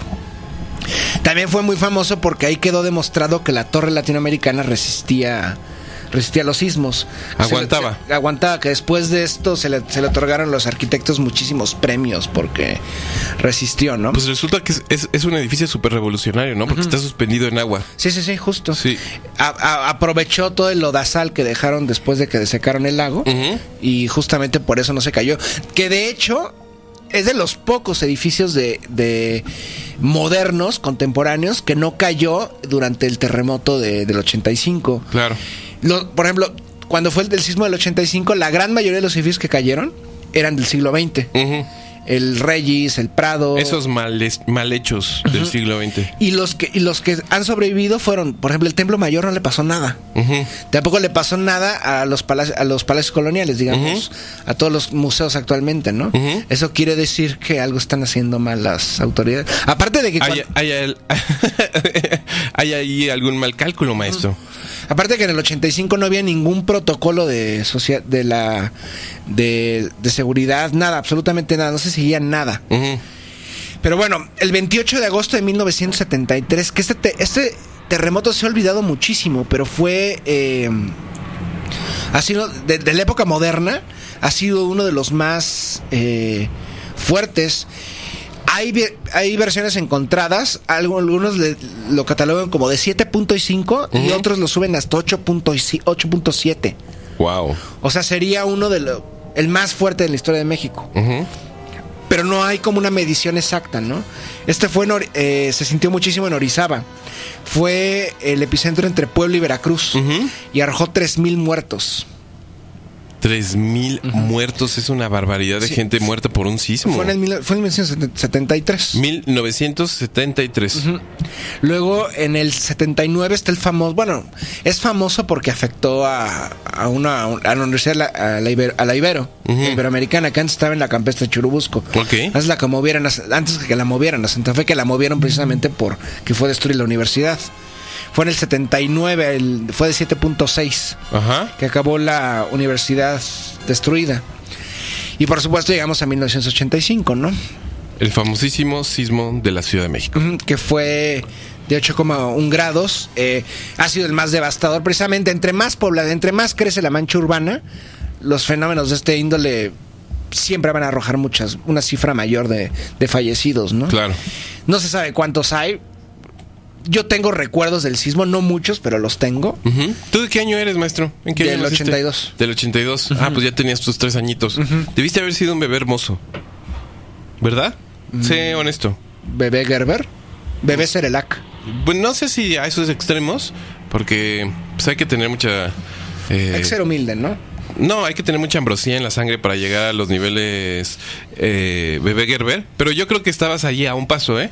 Pudiste haber sido un niño modelo, tal vez. Niño modelo no en términos de comportamiento, sino de belleza. Muchas gracias, Benjamín. Así es. Digno de ser eh, eh, inmortalizado en, en, en- en mármol. Y, a- y atento, o sea, ¿Será que Bianca tiene fotos tuyas de bebé? yo tengo fotos mías de bebé. ¿Y las tienes ahí a la mano? Tal vez, ahorita busco. A ver, Eh, ahorita que puedas, ¿eh? A ver, nada, sé que atento, ay, cuidado porque está repleto de febófilos por todos lados. Nu- nunca, nunca se sabe, ¿no? Pero ya, ya saliste de, ya saliste del rango, ya no, ya no eres atractivo para un padrecito No, en ya Pittsburgh. no, Ya no. no sé por qué. El, ca- el cardenal O'Malley. Exactamente. ¡Oh, qué horror! Espérense un segundo, señores y señores, porque me gustaría que nos detuviéramos en este momento y escucháramos estos últimos minutos de el ballet de El pájaro de fuego. Porque es hermoso. Después de la destrucción absoluta del pájaro de fuego, la naturaleza regresa a reclamar su lugar. Y este es su despertar. Regresamos en un segundo, no se vaya a ningún lado. Señores y señores, esto es No FM, todo menos miedo.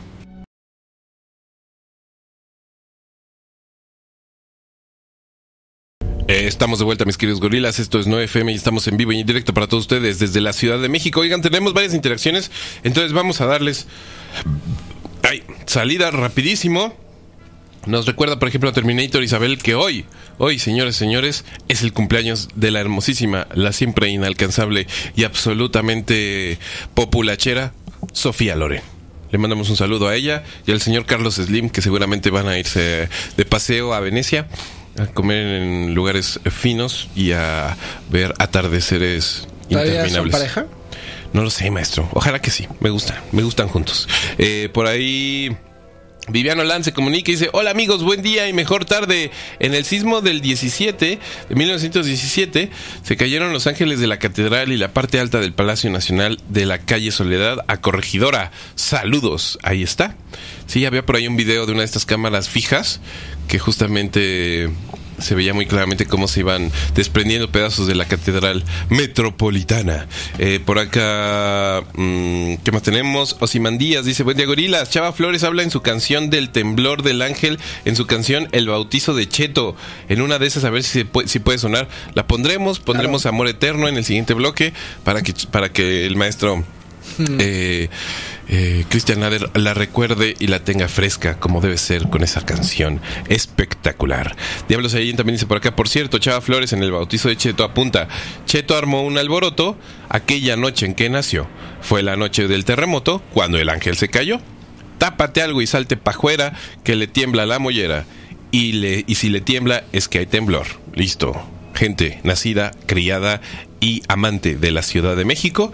Sí, claro que sí. Ahorita sonará el. ¿Cómo se llama? Cheto, ¿no? El, el bautizo de Cheto. Listo. Rodrigo murió en el.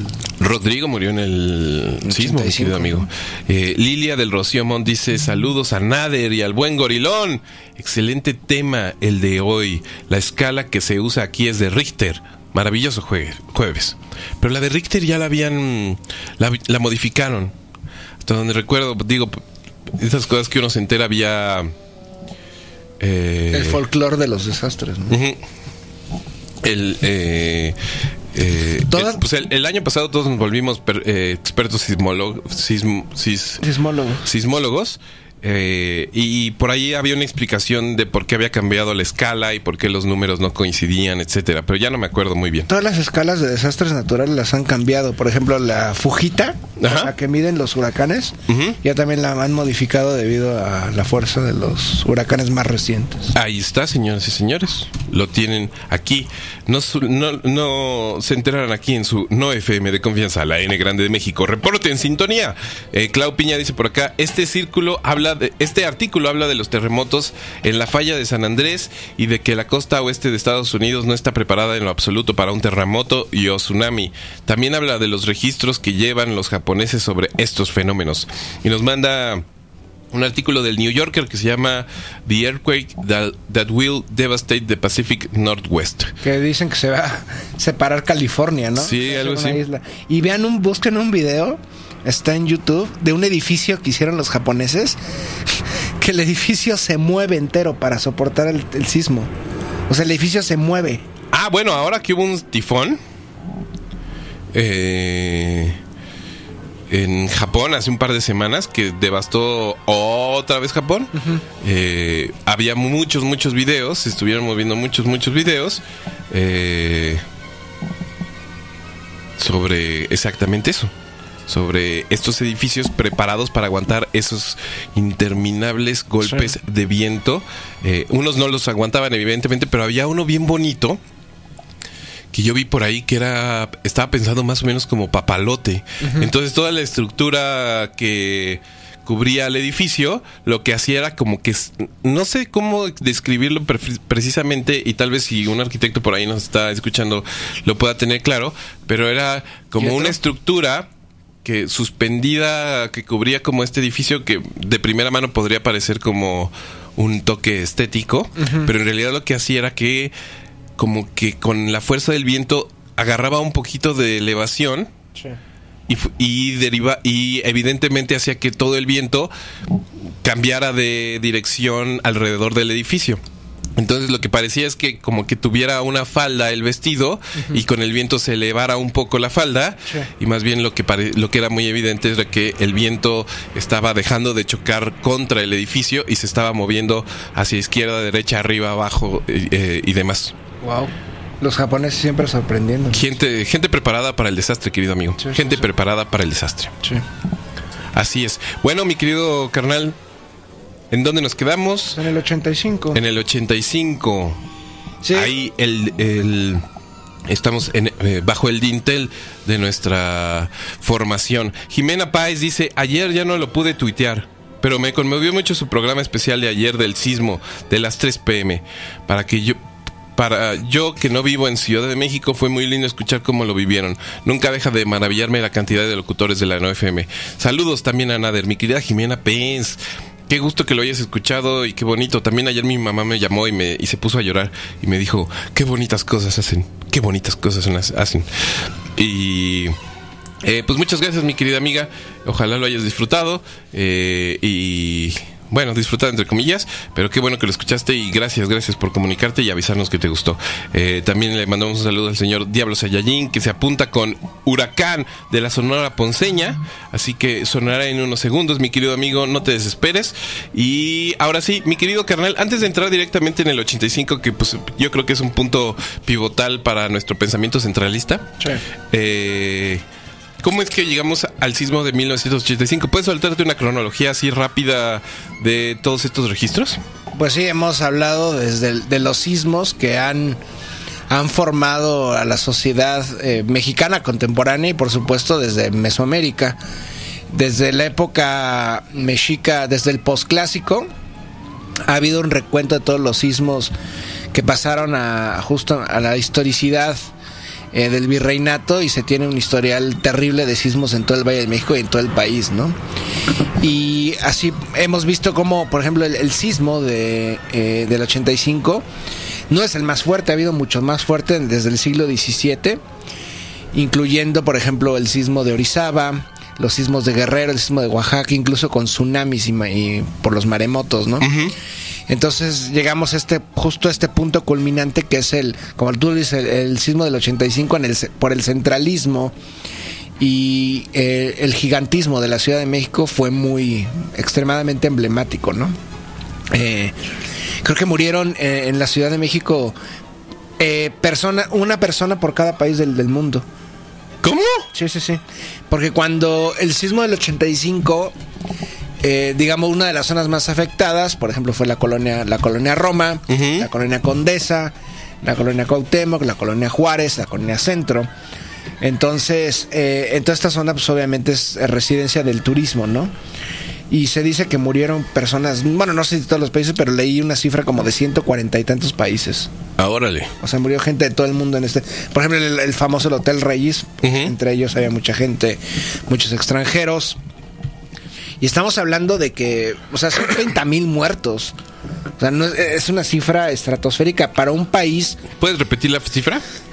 30 mil muertos. Obviamente no son las cifras oficiales. Las cifras oficiales en un principio estaban como en 3 mil. Ajá. Y hasta la fecha creo que siguen así.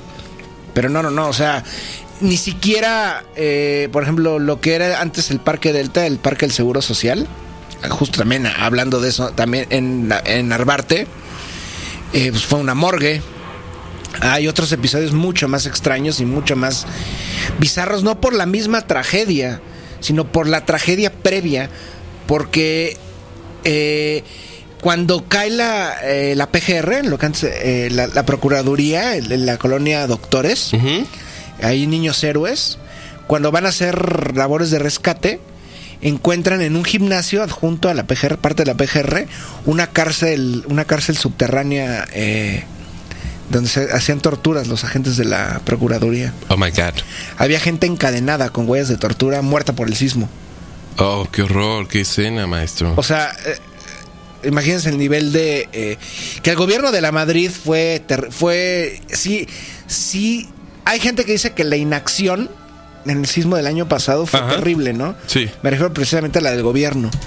Pero esto no es nada comparado con lo que fue en el 85. En el 85 prácticamente la, la ciudadanía fue quien rescató a la gente. Sí, claro. O sea, la ciudad era un caos. Yo, yo recuerdo, las pocas cosas que recuerdo es que eh, yo vivía en un onceavo piso y se veían eh, justamente como, como columnas de incendio por todos lados, por toda la ciudad, ¿no? Eh, Tengo esa imagen muy, muy vivida. Eh, y bueno, fue muy criticado el gobierno de la Madrid y hay quien dice que a, la- a mediano plazo eso provocó la caída del prismo en la Ciudad de México. Yo no creo, porque se tardó demasiado tiempo. Ujú. Pero bueno. También en el 88 Cuando hablan de eso, ¿no? hablan de la generación de organizaciones civiles Sí. que después derivaron en. Surge la sociedad civil en la eh, Ciudad de México, ¿no? En el llamado a la apertura democrática, ante la cual el señor Ernesto Cedillo se dio. Y que después justamente generó la posibilidad de elecciones un poquito más derechas. Que entra Cuauhtémoc y luego la gran Rosario Robles. Ahí está Vicente Fox y toda esa eh, parvada de, de buenas almas. No, las parvadas son bellas, las parvadas son traen esperanza, son aves. ¿Cómo, se- una, una, esa, ¿Cómo le podemos decir? Esa, ¿Cómo se llama la de los cerdos? ¿Piara?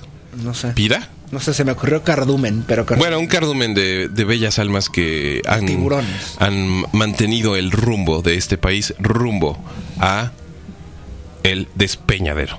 Listo. Entonces, de hecho, un cuarto de millón de personas quedaron sin hogar, 250 mil personas sin hogar. Y hasta, mi- hasta el año pasado, hasta 2007, previo al sismo del año pasado, se entregó eh, un, ho- hogares para estas personas. Había y todavía todavía existen, todavía en este momento en la Ciudad de México hay campamentos de, de damnificados del sismo de hace 30 y 33 años. Verga. O sea, estamos hablando de que veían ayer justamente la marcha de los damnificados que recorría las calles de la Ciudad de México. Bueno, todavía hay damnificados sin hogar en la Ciudad de México por los sismos del 85. Hay, mucho, hay un edificio ahí en la colonia Roma. No recuerdo qué calle es, creo que es Linares, una de estas. Bueno, per- yo recuerdo que permaneció inundado porque era de estos, de estos edificios que tienen el estacionamiento subterráneo. El, el edificio permaneció abandonado más de 30 años y el estacionamiento un pantano. Estaba inundado por 30 años. Verga. ¿En serio? En serio, en serio, en serio. No puede ser. Hay otro campamento, por ejemplo, hay un campamento de damnificados en la colonia Guerrero muy grande, muy cerca de Reforma. Y viven como 30 familias ahí todavía. Bueno, en la 30. colonia Roma hay en, en la calle Zacatecas, me parece. Sí, sí, sí. Justamente ahí. Por la glorieta antes, ¿no? Ajá. Por ahí hay un predio Ocupado. ocupado desde hace 20 años, algo Sí, así, sí, sí. claro. Y bueno, esa es como la... O sea, se ha dicho muchísimo del sismo del 85, pero siempre hay como historias trágicas que resurgen, ¿no? Por ejemplo, en 1995, en Colima otro, hubo otro poderoso, otro poderoso ¿En sismo. 1900 qué? 95. 95. Fue de 8 grados. No, pues es. 50 personas y otro tsunami que chocó con la... No, no sé si con, en Manzanillo o en las playas cercanas, pero eh, pues, también es un- 10 años después del sismo del 85, ¿no? Y por supuesto, eh, más recientemente, el terremoto el tristemente olvidado de- del 7 de septiembre que se sintió tanto en Chiapas como en Tehuantepec y en Puebla, ¿no? En Oaxaca. En Oaxaca sigue siendo una eh, situación humana dolorosísima, Sí, ¿no? Y eh, penosísima. está todavía la Y cubierta con un eh, manto de corrupción espantoso. Sí, sí, terrible. Más de 100 muertos. Eh, hay imágenes, por ejemplo, el patrimonio histórico de, to- de todos estos estados. Mucho fue destruido, iglesias colapsadas. Claro. De hecho, vi- leí un reportaje que una pirámide, eh, no recuerdo dónde, no, creo que en Morelos, se dañó muchísimo.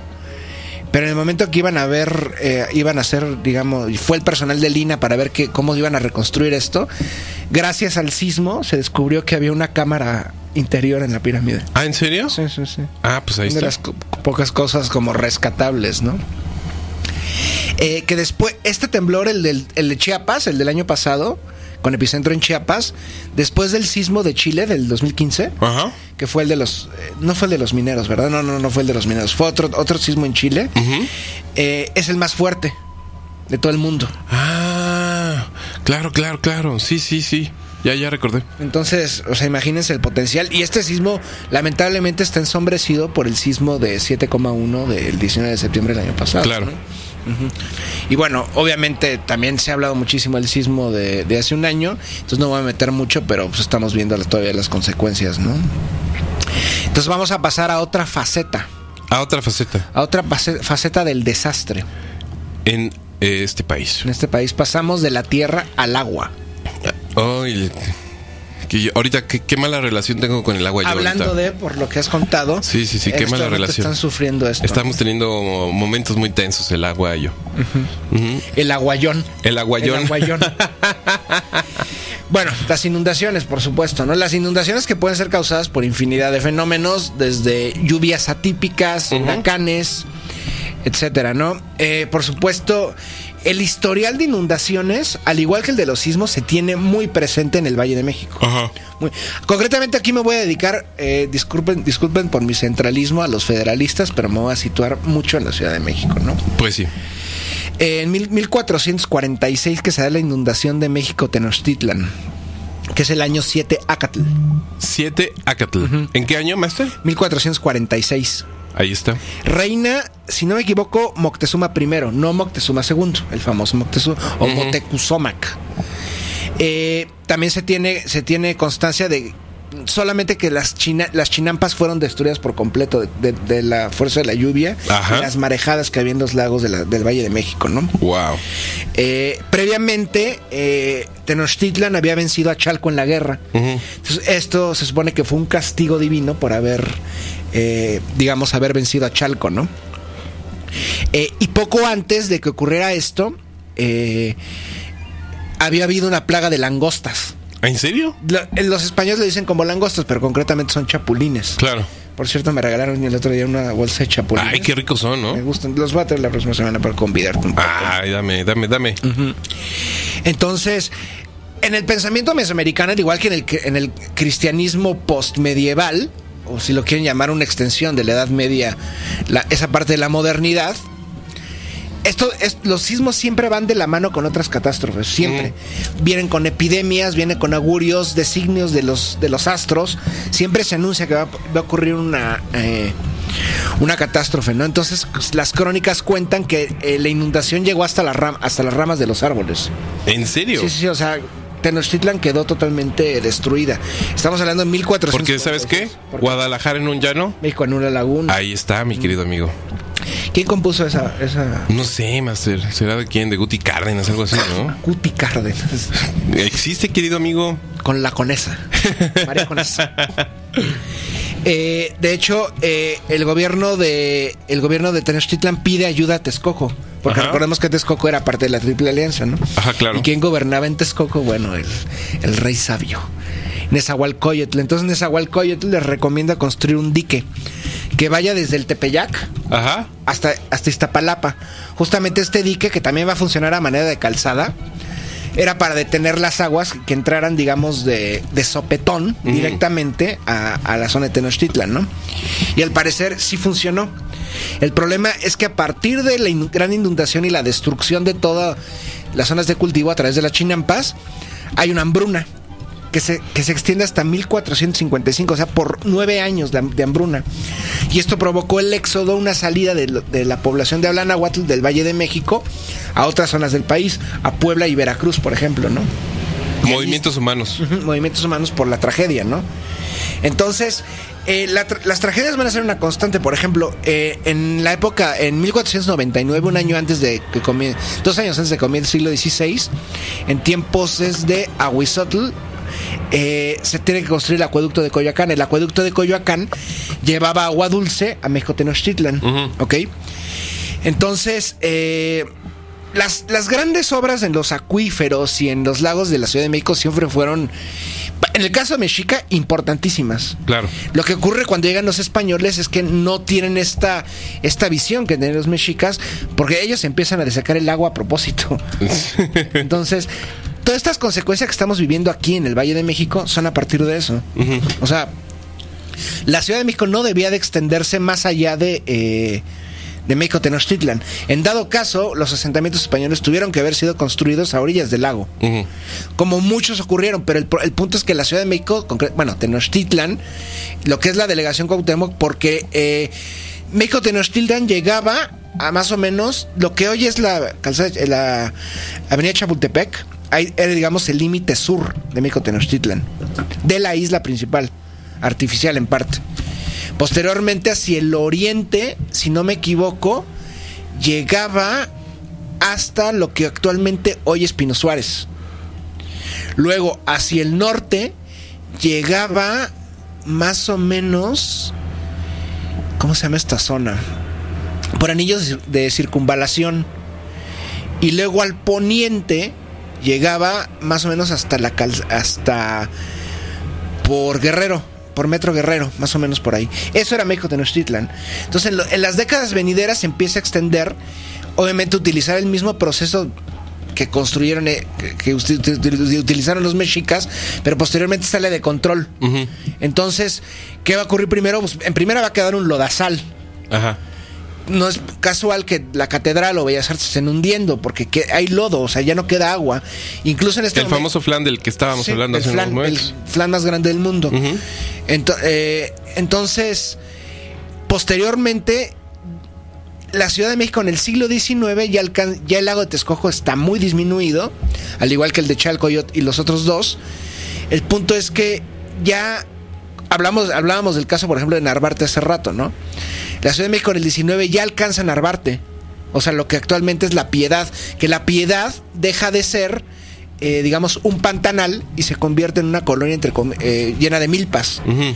Pero esto es totalmente un riesgo porque no, no puedes construir no puedes cimentar en este en ¿Quién dice que no? Bueno, que ¿quién dice ser, que no? La madre tierra nos va a venir a decir, a dar instrucciones. Versalles es un pantano, mi querido amigo. Washington también. Entonces, Hay una frase muy célebre, ¿no? De que por eso hay puro, puras bichos rastreros y reptiles en Washington. Exactamente. Porque el Potomac era un pantano. Bueno, y además de la, in, la inundación de, eh, de, de, 1446 tenemos muchas otras, ¿no? Por ejemplo, la, la, inundación de 1555, que ya estamos hablando en la colonia, que es cuando se... Eh, se construye, se le llama el albarradón de San Lázaro. ¿El qué? Albarradón de San Lázaro. El Era especie, albarradón. Albarradón. ¿Qué es un albarradón? Es una especie de barrera, como de una, no esclusas, bueno, sí, como una esclusa uh -huh. primigenia. Una forma de controlar el paso del agua, Ajá. las cierras y evitas si viene una inundación, ¿no? Claro.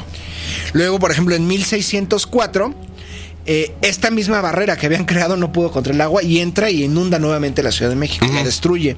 ¿En qué año? En 1604. 1604. En 1607 el río Azcapotzalco sube y vuelve a inundar toda la Ciudad de México.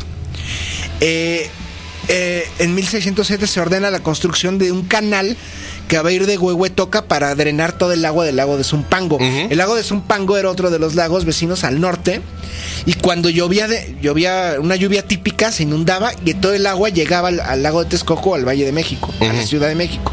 Se inundaba toda, ¿no? Entonces se planea construir un canal para desde Huehuetoca para sacar todo el agua de Zumpango a, a otra zona del norte para desviarle que no se venga a la Ciudad de México, ¿no?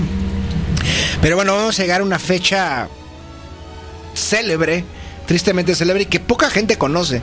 Esto fue una tragedia tal vez peor que la del sismo de 1985. Estamos hablando de la gran inundación de la Ciudad de México. La gran inundación, así conocida Sí, como la, gran, inundación. de la ciudad. de México. 1629. Ok. A partir, el 21 de septiembre de 1629 llovió por 40 horas, sin detenerse. O sea, como el diluvio de ayer en la noche. Ajá.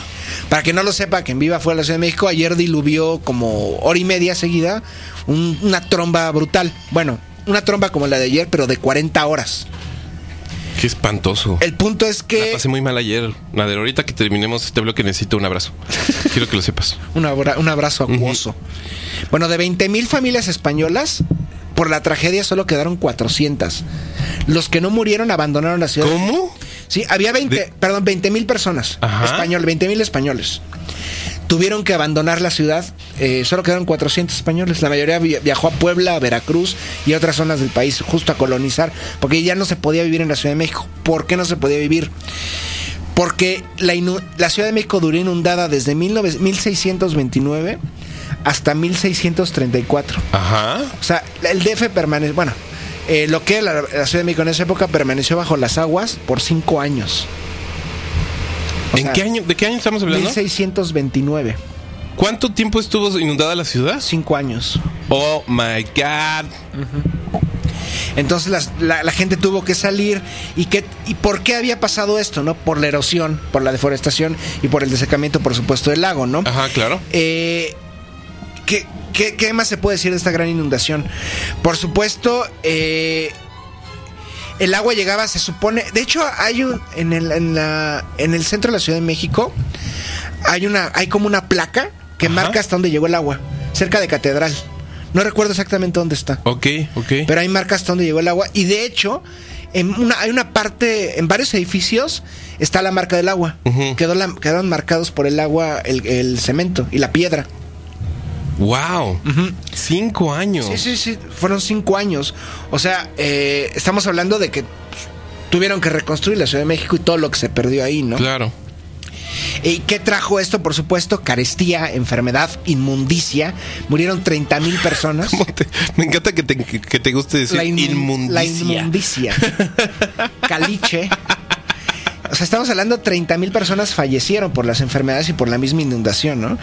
Y se pudo volver a habitar la Ciudad de México hasta justo 1634, ¿no? Pero bueno, posteriormente la Ciudad de México no crean que fue la última gran inundación, hubo muchas otras. Eh, por ejemplo, en mil- 1865, eh, ya en el México independiente, toda la ciudad se vuelve a inundar. Ujú. Entonces Maximiliano ordena que se construya un canal de, de desagüe, de desagüe que se inauguró hasta el Porfiriato. Se tardaron 40 años en construir un canal de desagüe. Wow. Maximiliano en su tiempo efímero en el gobierno al mando del país vio justamente como si a Maximiliano vio todo lo, o sea, le pintaron que iba a llegar a una ciudad casi casi imperial Ajá. y pues imagínate la decepción que ha sido para un Habsburgo ver esto, ¿no? Debió haber sido muy duro, Master. Sí. Eh, en 1600, justamente también 29, eh, el- lo que es el lago de Chalco vertió todas sus aguas en el lago de Texcoco, por eso se dio esta gran, gran inundación, ¿no? Ok. O sea, fue una cosa impresionante. En 1900, y estamos en la época actual, o sea, estamos a hace 100 118 años, eh, a cuatro meses de que se había inaugurado el canal de que había planeado Maximiliano que lo inaugura Porfirio, justamente, ha entrado el, siglo, el siglo XX, se inunda Santa Anita, La Candelaria, Santiago, San Lázaro y Los Ángeles. Tal vez estos nombres no les suenan, les voy a decir Santa Anita, por supuesto saben dónde es Sí, claro. muy cerca, ya es Iztacalco, Ujú. muy cerca del Palacio de los Deportes, por ejemplo, Sí. ¿no? La Candelaria, ¿por qué creen que se le llamaba la Candelaria de los Patos? Si ustedes ven, eh, van al metro... al La metro- Candelaria de los Patos es un muy hermoso es- nombre. es- sí, sí, sí. Si ustedes van a, a- a San Lázaro, enfrente está el Metro Candelaria, y el logotipo del metro, eh, que lo... Por su- un día tenemos que hablar de esto. Es que es uno de mis personajes favoritos del, de- de la- del folclore capitalino, Lance Wyman. Lance Wyman, me suena un chingo. Fue el que diseñó El todos los, diseñador, los claro. iconos de los Sí, del, claro. del metro, ¿no? Bueno, Candelaria. ¿Y él es uno de tus personajes favoritos? Sí, porque me encanta toda la investigación que tuvo que hacer para ca- sacar cada, cada, cada diseño de cada estación de metro fue impresionante. Ah. Se sumergió a todo el historial de, la simbología y todo eso. Hay que hacer ese programa, amigo. Suena cabroncísimo. un programa, un programa por cada una de las estaciones de metro. Ma- no, tranquilo, tranquilo, querido Nader, tranquilo. pero sí podemos. no, no, no, nada. Es que aunque no lo crean, soy un gran metrófilo. ¿Eres un gran metrofilo? Amo el metro, me gusta Ah, me imaginaría que no la pasas también ahí dentro. No la paso tan bien, pero hay una relación amor y odio, ¿no? Claro. Sí. Bueno, entonces la Candelaria se inundó. Eh, se llamaba la Candelaria de los Patos porque antes era una laguna, había patos, al igual que la lagunilla. Sí, claro. Eh, el, barrio de, el barrio de Santiago era un barrio que estaba muy cerca de la ciudad. eh, estaba, digamos, en el cuadro central de la Ciudad de México. San Lázaro, por supuesto, es donde está el actual Palacio Legislativo, que también, también se inundó. Y Los Ángeles, ¿cuál es el barrio de Los Ángeles? El barrio de Los Ángeles es donde está la colonia Guerrero ahorita. Hay una famosa iglesia, que es la iglesia de San... Creo que es Santa María de Los Ángeles, Ajá. que está ahí justamente en la colonia Guerrero, que justo en el terremoto del año pasado se vino abajo, creo que un domo. ¿Ok? ¿En dónde? En la colonia Guerrero. En la Hay un parque Guerrero. muy grande y justo enfrente está una iglesia, creo que es de, creo, creo que es de Manuel Tolsa, creo. Ok. No estoy seguro. Y bueno, ¿qué más se inundó? Tlaxpana. ¿Cuál es la Tlaxpana? La Tlaxpana es la que está en... eh, donde estaba la fuente de Tlaxpana, muy cerca de Metro... eh, Escuela Normal. Muy cerca de Normal. Esa es Tlaxpana. Ah, ok, Que ya. había una fuente muy famosa, muy parecida a la de Salto del Agua, que se llamaba la Fuente de los Músicos. La fuente de los Que músicos. se perdió por completo. Se- era una fuente preciosa, barroca así, churrigueresca, enorme. Ajá. Más grande que la de Salto del Agua y se perdió. Eh, Niño Perdido, ¿dónde es Niño Perdido? Había antes el barrio de Niño Perdido. Niño Perdido estaba en donde está actualmente la colonia Doctores. ¿Y Eje Central no se llamaba así también? Sí, justo. Por eso se Exacto, llama ¿no? por el barrio de Niño Perdido. Sí, claro. La colonia Hidalgo también se inundó. ¿Cuál es la colonia Hidalgo? Lo que actualmente es la colonia Doctores. Antes se llamaba colonia Hidalgo. Ahí está. Eh, entonces, posteriormente de la gran inundación de 1900, ocurre otra gran inundación en 1910, que se supone que... En 1910. 1910, el mismo año que comienza la revolución eh, de 1910, valga redundancia, que justamente dicen que por esto, Porfirio. Díaz, la, la, la, eh, la aprobación pública de Por- Porfirio Díaz en la Ciudad de México se va por los suelos, Ajá. porque se inundó toda la Ciudad de México y nadie hizo nada por arreglarlo. Ok. que se inundó, se inundó todo Bucareli, Belén, que es Belén donde estaba antes la prisión de la prisión de Belén, Arcos de Belén, Arcos de Belén. eh, don- donde van a sacar sus, sus actas de nacimiento. La Peralvillo se inundó, la Merced se inundó, Miscuac se inundó y Piedad se inundó. Ah, fíjate que Miscuac no es una zona que ubique para nada en. En, No. en el terreno de la inundación. No, y en esa época Miscuac estaba fuera de la Ciudad de México. Claro. Miscuac Eran que casas de campo, ¿no? Sí, sí, sí. De hecho, cuando fue la inundación de eh, en la época de Maximiliano y previamente se había tomado la, la- en cuenta mover la capital. ¿Qué me refiero con mover la capital? Eh, moverla, que ya no fuera la Ciudad de México.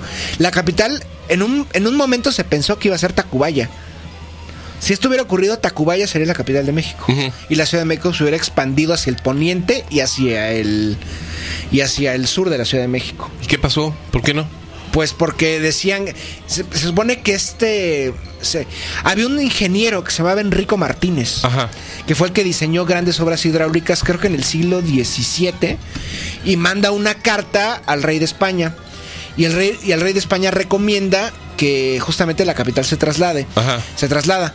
Pero dice el gobierno mexicano, el cabildo y todo esto, que no, no se puede trasladar porque la simbología y el peso eh, de lo que es México Tenochtitlan era, muy importante, ¿no? Entonces no se podía Mover. no se podía mover la capital, ¿no?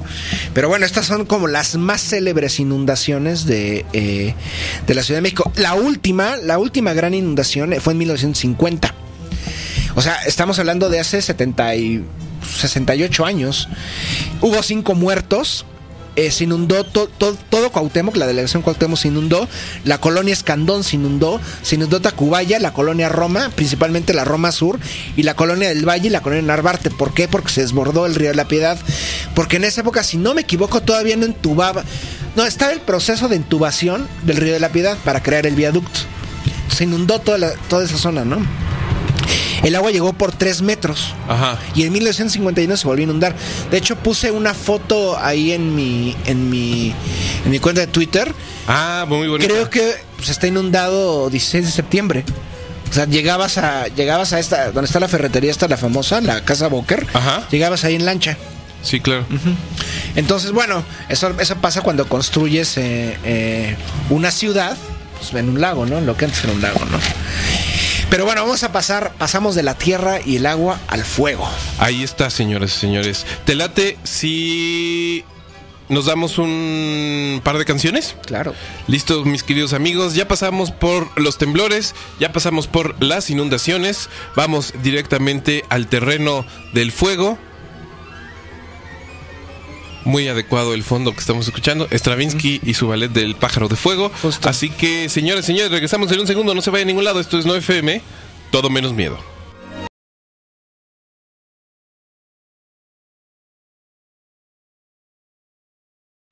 Estamos de vuelta, mis queridos gorilas. Esto es 9FM. Estamos en su jueves de invasiones con el señor Cristian Ader. ¿Cómo estás, Cristian? ¿Cómo estás pasando? Muy bien. Disfrutas mucho hablar de estas cosas, ¿verdad? ¿Te gusta a ti el. ¿Los desastres? El. des- el, desenca- el- ¿Cómo se dice cuando se suelta algo? El. Me asombra el poder de la madre naturaleza. Eso, eso, eso quería decir, pero con una palabra más bonita. Ahorita se Porque me. es madre. Ahorita me voy a acordar.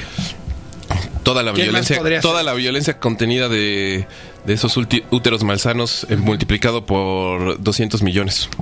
Y nos vamos a trasladar al ombligo de la madre. Mi querido amigo, ya hablamos de agua, ya hablamos de tierra, hablemos de fuego. De fuego. El fuego de la madre. Exactamente. Bueno, vamos al lugar donde se hacen cantos y ruegos.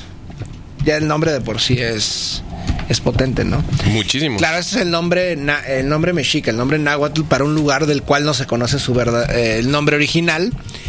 Me refiero a la primera gran cultura que se asentó. Bueno, ya había un historial de por lo menos 20 mil años, 15 mil años en la Ciudad de México, en el Valle de México. Estoy hablando, por supuesto, de Cuicuilco, Ahí está. que en su apogeo llegó a albergar a Ahí. 20 mil personas. ¿Cuán- ¿En Cuicuilco? Sí, sí, sí. Ah, no, ¿Qué pensé que ibas a piensas en decir un- Huipulco. No, no, no, Porque Huipulco. yo en Huipulco hice mucha vida en algún momento de mi existencia y vendían un pollo rostizado muy rico. Sí, sí, sí. Ahí está mi Son muy famosos los pueblos de Huipulco. No, Cuicuilco, concretamente, para que se ubiquen, quien no conoce, bueno, quien no conozca la Ciudad de México, al sur de la Ciudad de México, al sur poniente, al suroeste, eh, hay un lugar que se llama Perisur. Enfrente hay un lugar que se llama Villa Olímpica, que fue donde se, eh, vivieron los atletas durante los Juegos Olímpicos de 1968. Y al otro lado de la Avenida Insurgentes hay una zona arqueológica llamada Cuicuilco. Que para que entiendan, Cuicuilco está bajo Perisur, bajo Villa Olímpica y bajo Plaza Carso, Cuicuilco. Ok. O sea, todas estas construcciones son, entre comillas, ilegales. Están sobre el patrimonio arqueológico de los mexicanos. Eh, hay tres zonas, Cuicuilco A, Cuicuilco B y Cuicuilco C. Cuicuilco A es, digamos, la- eh, la- la- el gran basamento piramidal famoso. Junto está la ENA. Eh, Cuicuilco B es donde está... ¿Tú te ibas de pinta a Cuicuilco? No, pero yo para llegar a, a- a Insurgentes, para tomar el camión de regreso a- al norte de la Ciudad de México, atravesaba a diario Cuicuilco. Me gustaba mucho pasear por ahí. Ahí está. Eh, y Cuicuilco C es donde está Perisur y enfrente está Zacatepetl, un gran cerro enorme. Eso también es parte de Cuicuilco. Claro. Estamos hablando que albergó a 20 mil personas, o sea, desde el año 800 a.C., o sea, desde hace 2800 años hasta más o menos el 250 de nuestra era. ¿Por qué? Bueno, Cuicuilco se asenta ahí porque ahí era una, una zona de tráfico muy importante. Había acceso tanto al lago de, al lago de, de Texcoco, bueno, a- a- a, digamos a la orilla más sureña, que estaba un poquito lejos, pero había acceso, y al lago de Chalco, y a Xochimilco también se podía controlar el tráfico de personas y de mercancías y de todo esto, ¿no? También se podía acceder muy fácilmente a Toluca y a Morelos. ¿Por qué? Porque Biela Jusco, pues llegas, por supuesto, a Morelos y a, y a Toluca. O sea, haces una, haces una Y y para un lado vas a Toluca y para el otro para los valles de Morelos, ¿no? Perfecto. Luego, eh, pero ¿qué es lo importante? Se asenta justamente eh, bajo las faldas del, del, del Ajusco, de la Sierra del Ajusco, donde hay, entre otros, un volcán llamado Xitle. El famosísimo El ombligo. Xitle. El ombligo. Además del Xitle hay otros volcanes. Por ejemplo, está este, el, el Chichinautzin. Y también está el volcán Pelado. O sea, no es el único volcán que hay. Eh, de hecho, el se supone que el Xitle entra en actividad más o menos desde el año 100 antes de nuestra era. O sea, durante 300 años está en actividad constante, aventando fumarolas, uno que otro residuo eh, lava. Pero es más o menos en el, entre el 250 y el 300 de nuestra era que ocurre la gran erupción. No se sabe si, la- al parecer, Cuicuico no fue una tragedia con respecto a pérdidas humanas.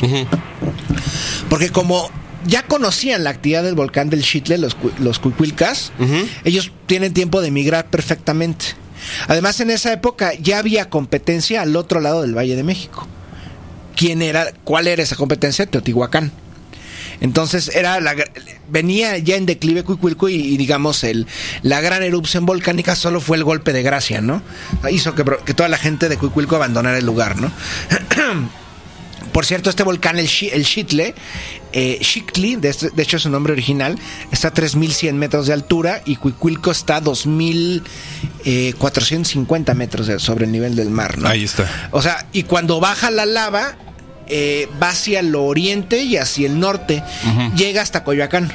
más o menos todo el Pedregal, la reserva del Pedregal, pues es consecuencia de la gran erupción del, de, del Chitle, ¿no? Previamente era una planicie. Se dice que había estanques, eh, que había arroyos, y en este momento, pues la geografía es totalmente distinta, ¿no? Que es un ecosistema.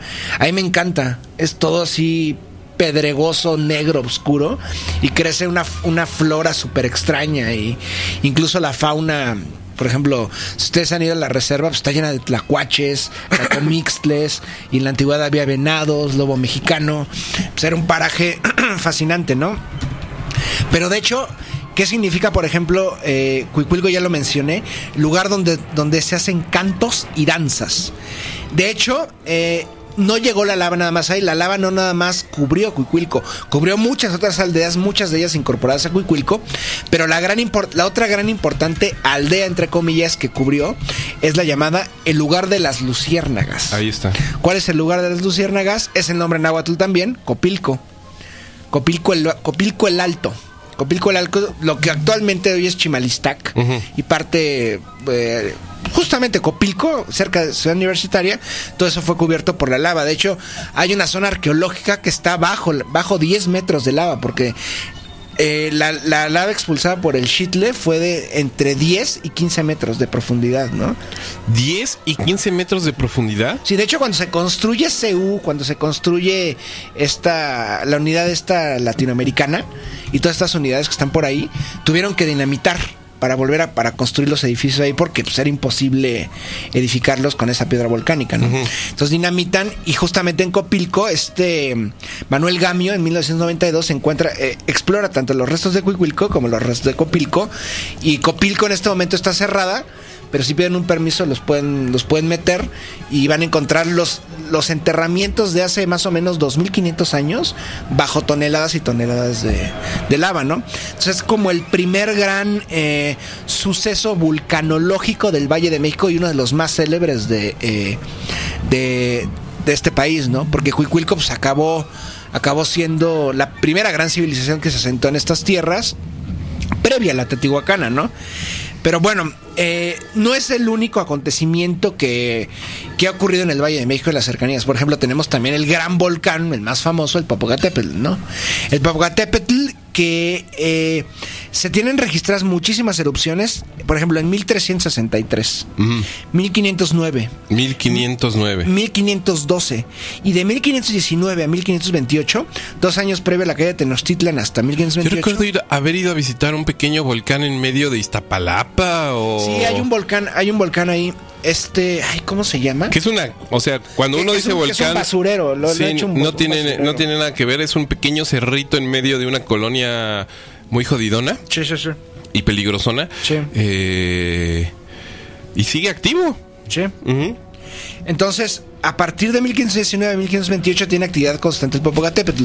Como ahorita, fumarolas, etcétera, ¿no? Eh, pero de hecho, no se supone que, por ejemplo, eh, el Popocatépetl, la, la gran erupción ocurrió entre, el 1300, entre, en el, entre el 3195 antes de nuestra era y el 2830 antes de nuestra era, que curiosamente coincide con el inicio del calendario mesoamericano. O sea, esto nos habla de que la, la población que vive en el altiplano o en Mesoamérica conocía que hubo una gran erupción, un gran suceso que fue eh, la erupción, una gran erupción del Popocatépetl que marcó, digamos, eh, las vidas de todos los pueblos que habitaban en, por lo menos en el altiplano, ¿no? Entonces el, pues es, algo a destacarse, ¿no? Y en la actualidad pues, siguen habiendo muchísimos volcanes activos en el territorio nacional, bueno, no muchísimos, pero bastante, por ejemplo, el volcán de fuego de Colima es el más célebre, ¿no?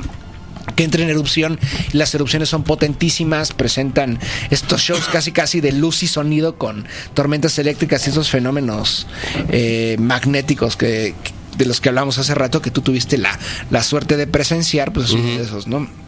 Entonces, por ejemplo, otras grandes eh, eh, erupciones del Popocatépetl hace 2150 años, o sea, en el 150 antes de nuestra era, que es todavía el preclásico, en el tránsito del preclásico al clásico, entra en erupción. Luego, eh, a partir de eso, una, una digamos, una fase de, habita- de habitacional de Cholula, tienen que abandonarlo por, el, por la explosión del Popocatépetl, ¿no? Luego, en el 823 después de Cristo, que es justamente el tránsito del, del, del clásico al posclásico, eh, destruye una fase de Cacaxtla y otra ciudad que se llama Xochitecatl. ¿Ok? O sea, hay, hay desastres naturales ya y bajas humanas por la explosión del Popocatépetl. Entonces, pero bueno, no es el único volcán que, que está activo en las cercanías del Valle de México, ¿no? Eh, no este no está tan cerca del Valle de México, pero por lo menos está en la zona mesoamericana. Me refiero al Citlaltépetl. ¿Cuál es el Citlaltépetl? El pico de Orizaba. Ahí está. El pico de Orizaba, que es, quiere decir Citlaltépetl, montaña de las estrellas. Hizo erupción en 1537, en 1545, en 1566 y en 1613. Y la gran erupción del Citlaltépetl del pico de Orizaba fue en 1687, con 1500 víctimas. Ya, ¿1500? sí, ya, ya es el virreinato esto. Ujú, claro. Entonces, por supuesto, en, en la zona de en la zona de Puebla y en la zona de Veracruz, estamos hablando que los volcanes también han sido, digamos, un azote para tanto los mesoamericanos como los mexicanos contemporáneos, ¿no? Y para los habitantes de Nueva España, ¿no? Otro volcán muy importante que ya está mucho más al sur, sigue en Mesoamérica, pero ya en el extremo sur, ¿no? El Tacaná. El Tacaná se encuentra en la frontera entre México y Guatemala, eh, que hace 1950 años hizo erupción y provocó el abandono, la, ahui- no se sabe cuántas víctimas arrojó, porque estamos hablando hace casi 2000 años, casi la era anterior, eh, el abandono de una ciudad que se llama Izapa. Izapa está en territorio guatemalteco, pero no es de raigambre maya. Es de mijes, soques y una, que otro elemento maya. Es una, una ciudad sincrética y provoca el abandono, ¿no? Pero bueno, ya en la época contemporánea, ¿cuál es, por ejemplo, eh, uno de los grandes sucesos de, de por lo menos, eh, de la vulcanología? Pues por supuesto, la, el nacimiento, porque no es la, además de la erupción, es el nacimiento de un volcán, el Paricutín, El que- Paricutín famosísimo. que es el vol no voy a pronunciar el nombre, ¿Por qué no? porque no puedo. Sí se puede. No, paren- no puedo. Ahí puse el trabalenguas en el Twitter famoso de, de esta localidad, ¿no? que es el volcán más joven de el volcán el volcán más joven del continente, ¿no? Que es San, San Juan Parangaricutiri esa madre. Ahí está. Eh, por supuesto, es- los nombres purépechas son medio trabalenguosos. Y la comida es horrible. ¿No te gusta la comida purépecha? No, que es horror, qué horror. Bueno, Benjamín, tú tienes algo contra Mesoamérica. No, ¿por qué? Porque ya, es, Al contrario. ya son muchos. Salvador, Honduras, Michoacán. Algo aquí hay en ¿Qué? contra de los. ¿Cuál- cuál los es tu conexión? Tú eres mexica. La guerra contra el imperio purépecha prosigue. Nunca lo había visto así. Tal vez no tengo argumentos en contra. Me ibas a preguntar cuál es mi conexión. Eh, no, ¿cuál es la conexión entre más, más allá de la evidentísima entre Morelia, Honduras y El Salvador? Pues son pueblos mesoamericanos. Bueno, por- esa, es la mitología eviden- esa es la evidentísima, pero aparte de eso, Pues hablamos castellano. por eso, pero sí, también en, en Chile y también en eh, al sur de los Estados Unidos. En Chile no, en castellano. Lo que ellos le llaman el español. El español chileno. Eh, bueno, hace erupción, el entra en erupción el 20 de febrero de 1943. Eh, 33 kilómetros de, de lava, estuvo marcado por 33 kilómetros cuadrados, pero eh, es increíble cómo en ocho meses la lava recorre 365 metros. Por supuesto, no hubo bajas. Yo he encontrado cifras en estas pesquisas que luego hago que sí hubo, hubo fallecidos, Ajá. pero como que no ha salido a la luz. Ujú. Como que gente, más que nada curiosos que iban a ver qué estaba pasando. ¿En serio? Sí, sí, sí. Y bueno, por si no lo saben, donde está el volcán, Paripu- el, volcán Paricutín, el antiguo pueblo, el de San Juan, el viejo, no voy a decir el nombre, Ujú. eh, quedó, fue abandonado porque fue cubierto por lava Ajá. y quedó la, la iglesia saliendo la torre de la iglesia, ¿no? Eh, y el, tuvo, el pueblo tuvo que ser mudado y se hizo una peregrinación justamente de 33 kilómetros para fundar el nuevo pueblo. Ahí está. Pero bueno, eh, aunque en este, en este, esto fue, eso fue en mil, en, por, por cierto, me preguntaron cuál temblor había presenciado este Eisenstein. Eisenstein presen- presencia, creo que en el 31, el temblor de Oaxaca. Y lo graba, ¿no? O y lo graba. Sí, porque él estaba en México grabando la de Viva México. Entonces aprovecha y hace como un micro documentalito sobre lo que pasa, ¿no? Lo puse en Twitter, ya lo compartí en Twitter si lo quieren ver. Eh, por cierto, la erupción del Paricutín duró 9 años, 11 días y 10 horas. Eso duró. ¿Cuánto tiempo? 9 años, 11 días y 10 horas. Mentira. Sí, sí, sí. ¿En serio? O sea, sacaba de re- pues como el Popocatépetl, que constantemente está en actividad. Ah, nada más que este ya, volcán ya. sacaba lava. Pero bueno, fue inofensivo y actualmente es un, un lugar pues extremadamente extraño y muy bello. Nunca he ido, pero me gustaría conocerlo algún día. Eh, pasamos ya no a un suceso tan o sea, es impresionante, pero no es, no es maravillosamente en, en el aspecto positivo, ¿no? 1982. 1982. Tres años antes del sismo del 85. Déjenme tomar eh, bebida. Refresca tu garganta, les recordamos arroba no fm-radio para que se comuniquen. Tenemos aquí algunas comunicaciones. Eh, los queridísimos amigos de Terminito Isabel nos recuerdan que un día como hoy en París eh, se recorre la primera carrera de motos. Ahí está. Y que eh, en 2008 se estrena El aerosol de los árbitros. Por ejemplo, mira, qué buen es el aerosol de los Este árbitros? para pintar la línea en la Ah, que van para- a hay un tiro libre, Ajá, exactamente. Y que el 20 de septiembre de 1964 se inaugura el Museo de Arte Moderno Mexicano. Vaya. Ahí está. Feliz Bien, cumpleaños al arte moderno. Por acá Hugo Meje dice más de 500 años haciendo pendejadas en la ciudad. Hace un año, después del sismo, en una entrevista con Javier Solórzano, un geólogo propuso no volver a reconstruir y poco a poco abandonar la ciudad.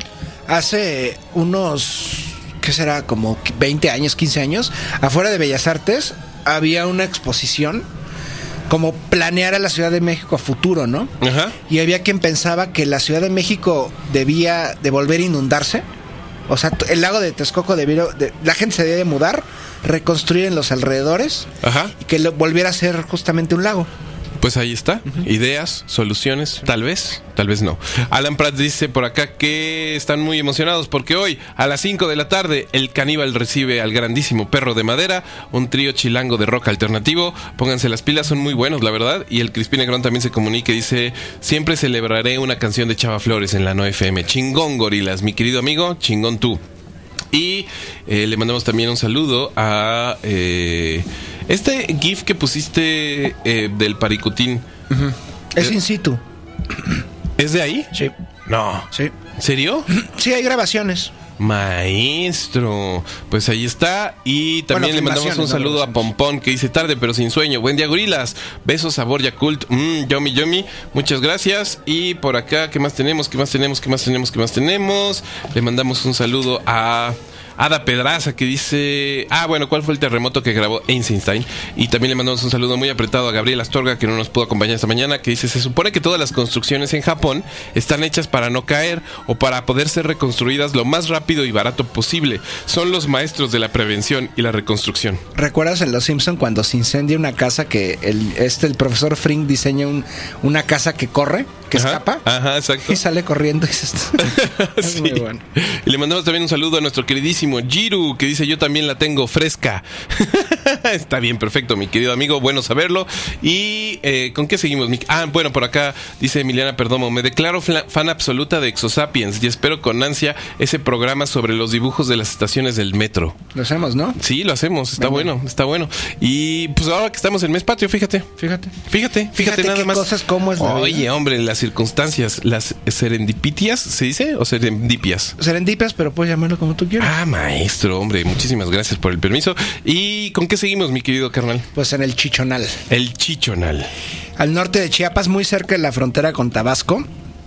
Eh, de hecho, había un proyecto previo a la erupción, había un proyecto para ah, un proyecto geotérmico para utilizar toda la energía que hay abajo de este volcán, pero el domingo 28 de marzo entra en erupción, ¿no?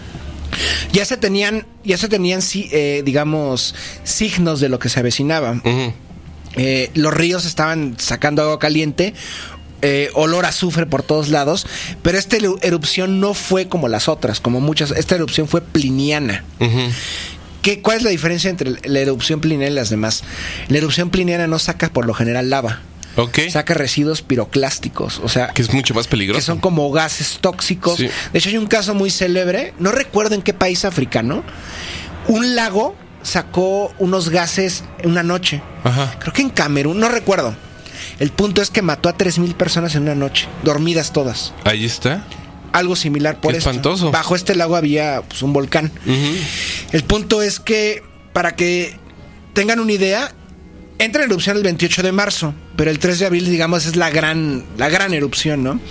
Y la cantidad de ceniza y gases que arrojó fueron 10 veces más que el Santa Elena. ¿Han visto los videos del Santa Elena? Claro. Que es- una nube gigantesca. Bueno, esta erupción fue más poderosa y en México no tenemos conciencia de lo que ocurrió hace, pues, 36 años. Nadie recuerda esto. ¿Cómo se llama el volcán? Chichonal o el Chichón, como lo quieran llamar. Eh, la, la arrojó estratos a 35 kilómetros hasta, hasta la estratosfera. ¿En qué año fue esto, mi querido carnal? En el 82. En el 82. En marzo, del, en, en marzo del 82 y abril del 82.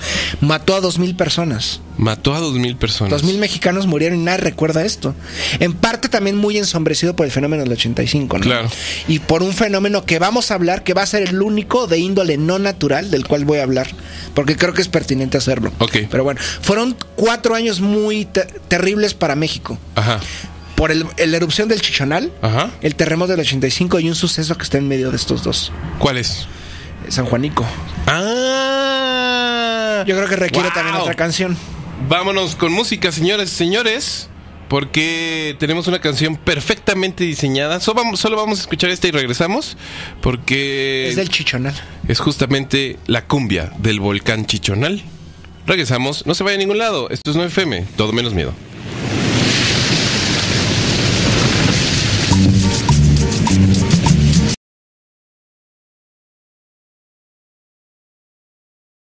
Estamos de vuelta, mis queridos gorilas. Por ahí escuchamos la cumbia del volcán Chichonal de Supergrupo Colombia.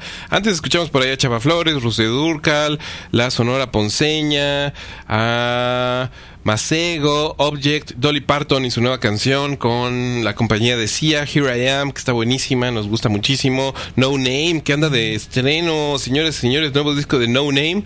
Y Lana del Rey, que también sacó una, disca, una rola bien bonita que se llama Mariners Apartment Complex. Ahí está.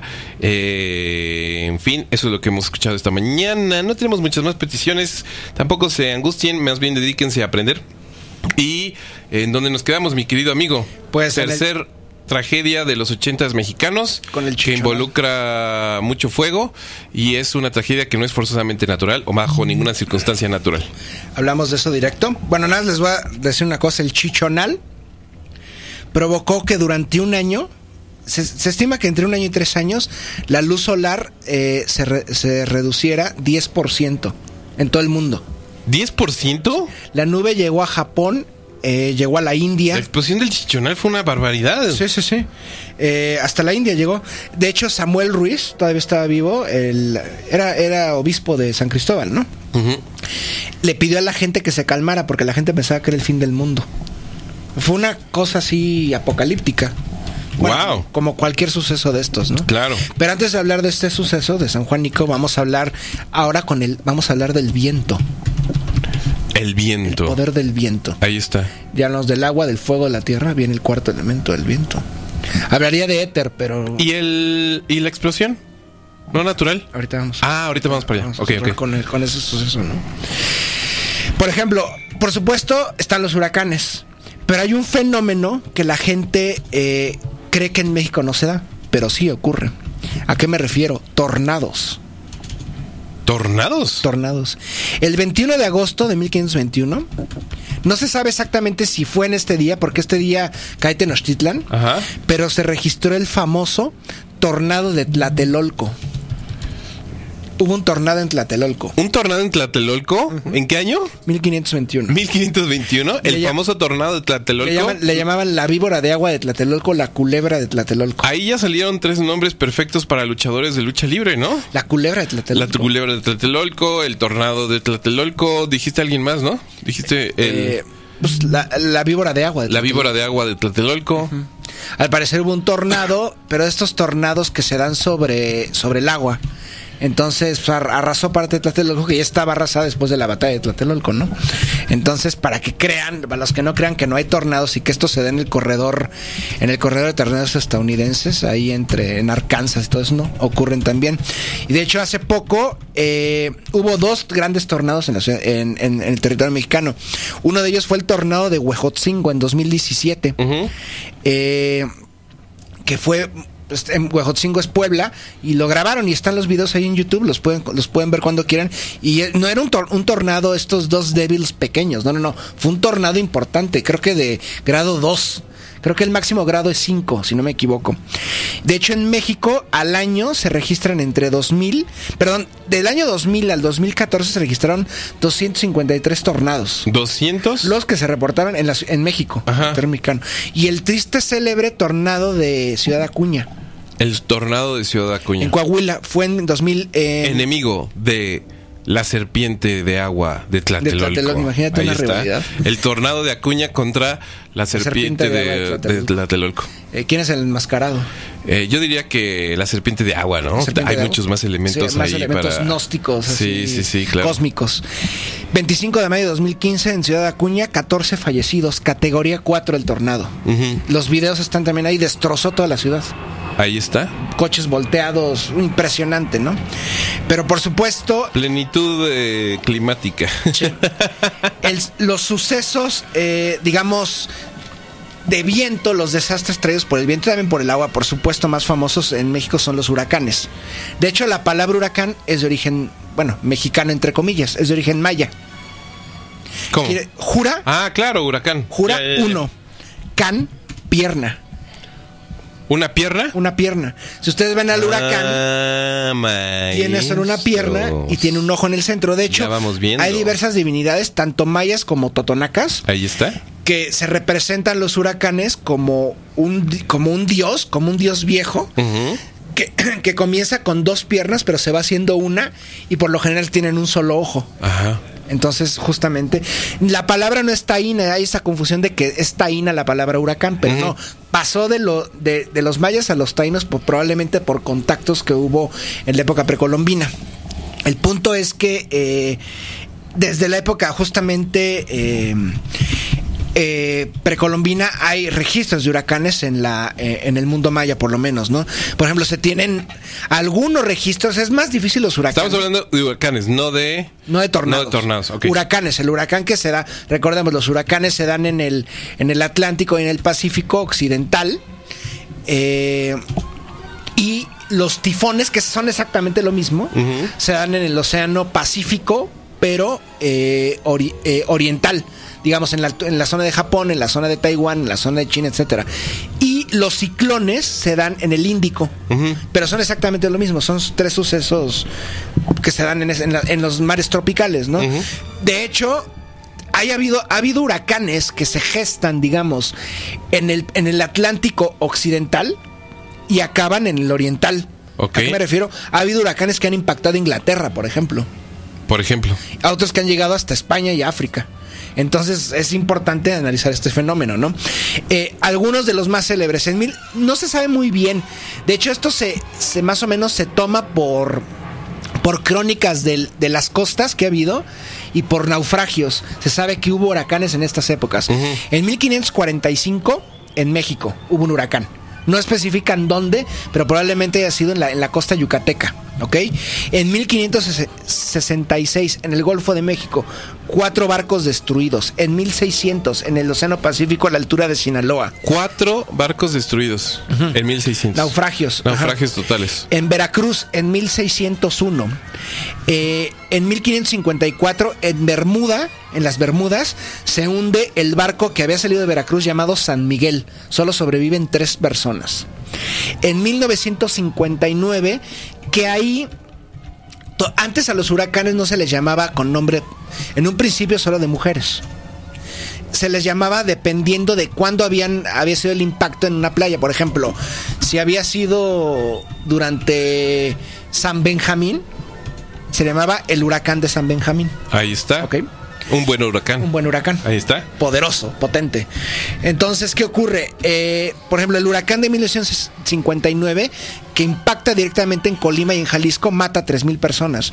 Y toda la historia moderna de México es de huracanes constantes. Los huracanes han, han matado a más personas que los mismos sismos. Son, digamos, el fenómeno natural más recurrente porque por lo menos al año se registran entre 3 y 4 huracanes y por lo menos uno o dos impactan solo mexicano, ¿no? Por ejemplo, el, el, huracán de 1909 es de mil, mueren entre mil y dos mil personas. De hecho, la, eh, hay un personaje que se llama Clement Lindl Rage. Uh -huh. Era australiano, era un meteorólogo australiano. Él fue el que empezó a bautizar a los huracanes con nombres de mujeres, con nombres de, de personas, de, de, de, chicas. Y también posteriormente con nombre de, políticos. ¿Por qué? Porque eran ofensivos. Ah, ¿en serio? Sí, en serio. Wow. Fue hasta el 53 cuando se cambia ya la nomenclatura eh, para ponerles nombres de personas y hasta el 74 cuando ya se empiezan a utilizar nombres masculinos. Porque fue una crítica justamente de, de, de grupos feministas que decían por qué las mujeres tienen que ser las únicas que destrozan todo, uh -huh. cuando son los hombres principalmente, ¿no? Entonces, vamos a pasar, ya falta muy poco tiempo para que termine el programa, pero vamos a revisar otro fenómeno que no hemos revisado, que también es de índole natural, pero tiene que lo tenemos que ver, ¿no? A las epidemias. Las epidemias. Me voy a ir rápido. En el año 10 estuvo bíblico este programa, ¿eh? Sí, sí, sí. Estuvo muy cargado. Solo faltaron que llovieran ranas. Sí, por ahí que eh, la lluvia de ranas y de peces en Centroamérica es muy común, por ejemplo. Uh -huh. eh, año 10 conejo. Año 10 conejo. Que Viajemos se ve, juntos. Se ve como algo hermosísimo. ¿no? no, pues en el año 10 conejo, en el año 1450, porque está este justamente este mito de que fue hasta la llegada de los españoles cuando ocurrió esta catástrofe demográfica generalizada en todo el continente, uh -huh. cuando realmente se insertaron las enfermedades. Pero no, ya antes hubo pestes en solo, en mesoamericano o andinoamericano, en otros contextos americanos, pero no eran tan brutales como antes, como posteriormente, perdón. Sin embargo, sí las hubo. Previamente, en el año 10 conejo, había habido heladas y hambre. Uh -huh. Esto hizo, provocó justamente que surgieran eh, enfermedades por todos lados, ¿no? De hecho, eh, debido a, a justamente a la, al hambre que surge eh, en esta época, en 1450, los gobiernos de la Triple Alianza, eh, Texcoco y Tenochtitlan, eh, dejan de recaudar impuestos durante seis años y empiezan a abren los graneros y empiezan a repartir maíz y frijol para toda la gente, porque no había, justamente las chinampas no estaban produciendo absolutamente nada, ¿no? Oye. ¿Qué? Cuando saques el video. Ah, comiéndote el mordisco. Por favor, si nos puedes, o si Yetro está por ahí, uh -huh. si nos puede ayudar a hacer un GIF de este momento en donde me metí casi media concha en la boca. Media concha de pan. Me di cuenta que tenía mucha hambre. y me no puede ser. Es la primera vez en este programa que albureas, mi querido es la primera, sí. Lo cual me parece celebras? muy emotivo, uh -huh. pero sí me gustaría verlo repetido una y otra vez porque seguramente fue un evento muy desagradable. Eh, una disculpa, pero de repente me dio un hambre muy cabrona y me di cuenta que tenía todavía un pedacito de concha y dije, desesperación total, aquí vamos. Bueno, a todos nos pasa, ¿no? Uh -huh. Tendrás el GIF, no te preocupes. 1453. Se da un catarro pes pestilencial en Tenochtitlan. ¡Qué horrible nombre! Se supone catarro pestilencial sí. Esto esto fue, coincidentemente pasó un cometa. Uh -huh. entonces el cometa fue el augurio de lo que se avecinaba no al parecer los investigadores han dicho que esta era una forma de influenza en 1453 Luego se ha analizado que probablemente muchas catástrofes demográficas uh -huh. y abandonos de ciudades se deben parte, más allá de las, del, caos, del caos ecológico, porque por ejemplo Teotihuacán sin duda la hipótesis principal es que la abandonan por el desequilibrio ecológico que provocó la población. Estamos hablando de un cuarto de millón de personas poblaban en, Teotihu poblaban Teotihuacán que arrasaron con todos lo, con todo el ecosistema, ¿no? Pero por ejemplo, Tula se cree que fue abandonada por epidemias, ¿ok? Uh -huh. Los totonacas, entre ellos por ejemplo Tajín, también fue abandonada, dicen, por epidemias. Eh, por ejemplo, en, en 1456, eh, en la tira de la peregrinación, esto es un códice, uh -huh. se cuenta que hubo un brote de difteria en Chalco. ¿De difteria? Uh -huh. En 1496, un brote de tifo en, Te en Tehuantepec, en, en el istmo. Uh -huh. En el istmo. Eh, por De, ejemplo, de fiebre tifoidea. Sí, Puta definitivamente. madre.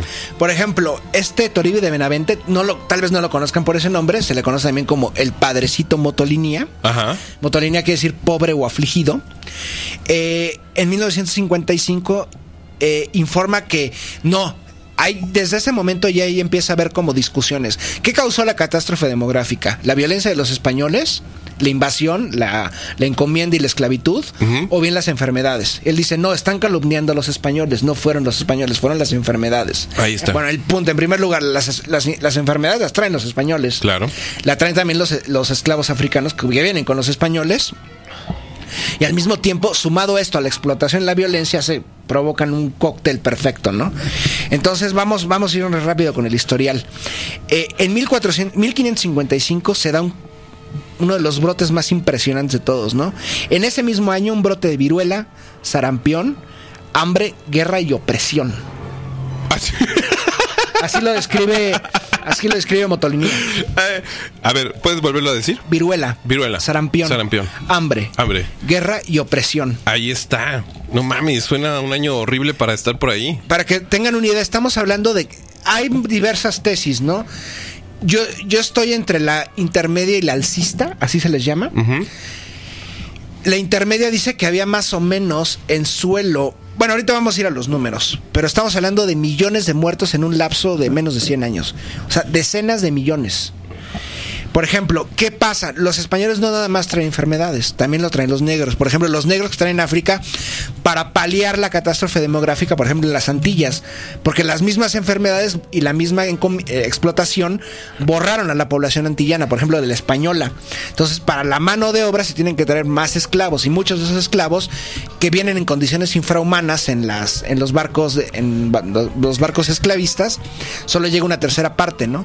Y estos que llegan muchos de ellos están enfermos, ¿no? Disentería, diarrea, neumonía, viruela, paludismo, amibiasis, lepra, sífilis y fiebre amarilla. Un buffet de esos destacadísimos. ¿qué, qué, qué- qué ¿Qué- bacteria qué- o virus quiere? ¿De qué quiere su taco? Y por supuesto, estas enfermedades no existían en, en- en el continente americano. ¿no? Claro. Entonces, 19 1520, una epidemia de viruela que mata al mismo Cuitlagua, que es el hermano de Moctezuma II, lo mata, ¿no? 1531, una epidemia de, de, de sarampión que le llaman Zahuatl tepitón o la lepra chica. La lepra chica. Ah, sí es bonito ese nombre. También se da otra Así le puedes poner a tu primogénita. La lepra chica. Zahuatl tepitón. Ah, bueno, también. Y cuando te pregunte le inventas una cosa. No, quiere decir cerro de las campanas que vibran en- con el amor del viento del norte. o algo así. y ya después, muchos años después que te agarra un odio total cuando descubra que quiere decir... eh, Lepra chica. Lepra chiquita. Luego se da una epidemia de Huizahuatl. ¿Cuál es la- el Huizahuatl? La viruela. 1545 se da una epidemia de pujamientos con sangre y calentura. no, qué horrible nombre. Basta ya, nada de pujamientos con sangre y calentura. Llamada Ma- Matlazahuatl. Que, que tiene. eh, se, se expresa con manchas pardas en la piel. Oh my god. Esta enfermedad es el tifo. La tifo. Y luego está el famosísimo cocolistle. ¿Qué es el cocolistle? El cocolistle puede ser. Se supone que ya en la actualidad se entiende que puede ser cualquier tipo de plaga. El cocolistle. De hecho, quiere decir cocolistle plaga o epidemia. Pero el cocolistle, como tal, era una especie de, de diarrea que no dejabas de vomitar y de, y de tener evacuaciones como todo el día hasta que te debilitaban y morían. Ahí está. Pero el cocolistle puede ser en sí cualquier epidemia, ¿no? Estamos hablando de 1500, eh, esto fue en 1545, 1596, sarampión, paperas y una que se llama tobardillo. Tobardillo. Bueno, de 1519, dos años antes de la caída de Tenochtitlan, a, a 1600, comienzo del siglo XVII, murieron de una población de entre 15 y 30 millones solo en México, ¿Sí? Solo en Mesoamérica y Aridoamérica y las zonas circundantes había una población de entre 15 y 30 millones de indígenas. En 1600 había 2 millones. Estamos hablando que murieron entre 13 y 28 millones de personas. ¿What? Por ende, la, la- la llegada de los europeos a suelo americano es la mayor catástrofe demográfica de la historia. Wow. Qué espantoso. Pero bueno, antes de llegar al último, digamos, al último Evento jocoso. el evento jocoso, vamos a hablar de otro evento. No hay información de esto. Ajá. Lo, lo he buscado siempre, siempre me llama la atención, pero no hay. No hay caída de meteoritos en suelo mexicano en la historia escrita. Hay uno ahí en el museo. Hay, hay, hay, pero no, no que hayan provocado catástrofes, por supuesto. Meteoritos caen todos los días. Pero no hay ninguno que haya caído, digamos, en una ciudad prehispánica y haya matado gente, por lo menos que se sepa. Sin embargo, en la ciudad de Paquimé, en Chihuahua, que es fascinante, si no la conocen, digo, es la ciudad más emblemática de Aridoamérica. Si lo han visto, que están, está, es una, parece un laberinto de adobe en medio del desierto. Es preciosísima. Paquimé. ¿Cómo se llama? Paquimé. No, no conozco, mano. Eh, bueno, en una cámara mortuoria encontraron un meteorito que estaba cubierto con una especie como de abrigo de mimbre. Ah, sí, sí, sí. ¿En serio? Sí, sí, sí. Y ahí lo tienen todavía en, en Chihuahua, en un museo. Qué hermoso. El meteorito de Paquimé. Bueno, pues no, no sabemos si ha habido, por supuesto, eh, bajas. De hecho, esto es muy raro porque es de- debido a los tamaños de los meteoritos, eh, pues es muy es poco probable ¿En dónde está? en Paquimé. ¿Pero está en Chihuahua? Sí. Es fascinante la ciudad. Creo que conozco. Sí, pero tengo un recuerdo muy fugaz y muy... Es, ¿Está cerca de Ciudad Juárez, por ejemplo? No, creo que se llama Casas Grandes. No sé, Master. Me suena, me suena. Bueno, en fin. no Bueno, en fin, es uno de los sitios arqueológicos más emblemáticos del país que está fuera de Mesoamérica, por supuesto, ¿no? Eh, pero bueno, eh, hay un suceso. eh, queríamos cerrar con esto, yo quería hacerlo, que, es, que, este, que esto ocurrió en 1984. Ujú. O sea, ocurrió entre la erupción del Chichonal y ocurrió entre el, ter- entre el terremoto de 1985. ¿Ok? ¿A qué me refiero? A lo que ocurrió en San Juan Ixhuatepec. ¿Qué es San Juan Ixhuatepec? San Juanico. El famosísimo San Juanico. Alrededor de Juan Canico tenemos varios comentarios. Dice Diablos Ayanichin. San Juanico, terrible. Yo vivía a 12 kilómetros más o menos. Nos despertó la explosión. Mis padres y yo vimos por la ventana y a esa hora, seis y cuarto de la mañana, el cielo se veía anaranjado, como en pleno atardecer. No sé qué altura alcanzaron las flamas, pero juro que las pudimos ver. Y por acá también el señor eh, Alfredo Mercado Rivas nos dice, Beteta, San Juanico te recuerda. Ah, porque el gobernador del Tenía estado. nueve años y... eh, ¿Y qué más tenemos por aquí? ¿Tenemos otro comentario de San Juanico? No, hasta ahí, mi querido amigo. Pues ¿Qué sí. pasó en San Juanico? Bueno, este es el único evento, el único desastre de carácter eh, humano, no natural, del que vamos a hablar, ¿no? En 1984, en la, ahí estaba justamente un- una tubería de gas licuado de petróleos mexicanos de Pemex. eh, hace explosión, ¿no? Entre las 5.40 y las 10 de la... La primera explosión empieza a las 5.40. Hasta las 10 de la mañana sigue habiendo explosiones. ¿no? Bueno, ¿qué ocurrió? Eh, murieron, se, se dice que 600 personas, pero probablemente el número sea mucho mayor. Lo que pasa es que hay una fuga de gas. eh, esta se extiende creo que por creo que un kilómetro hasta que alguien encuentra un- Una una, flama. flama.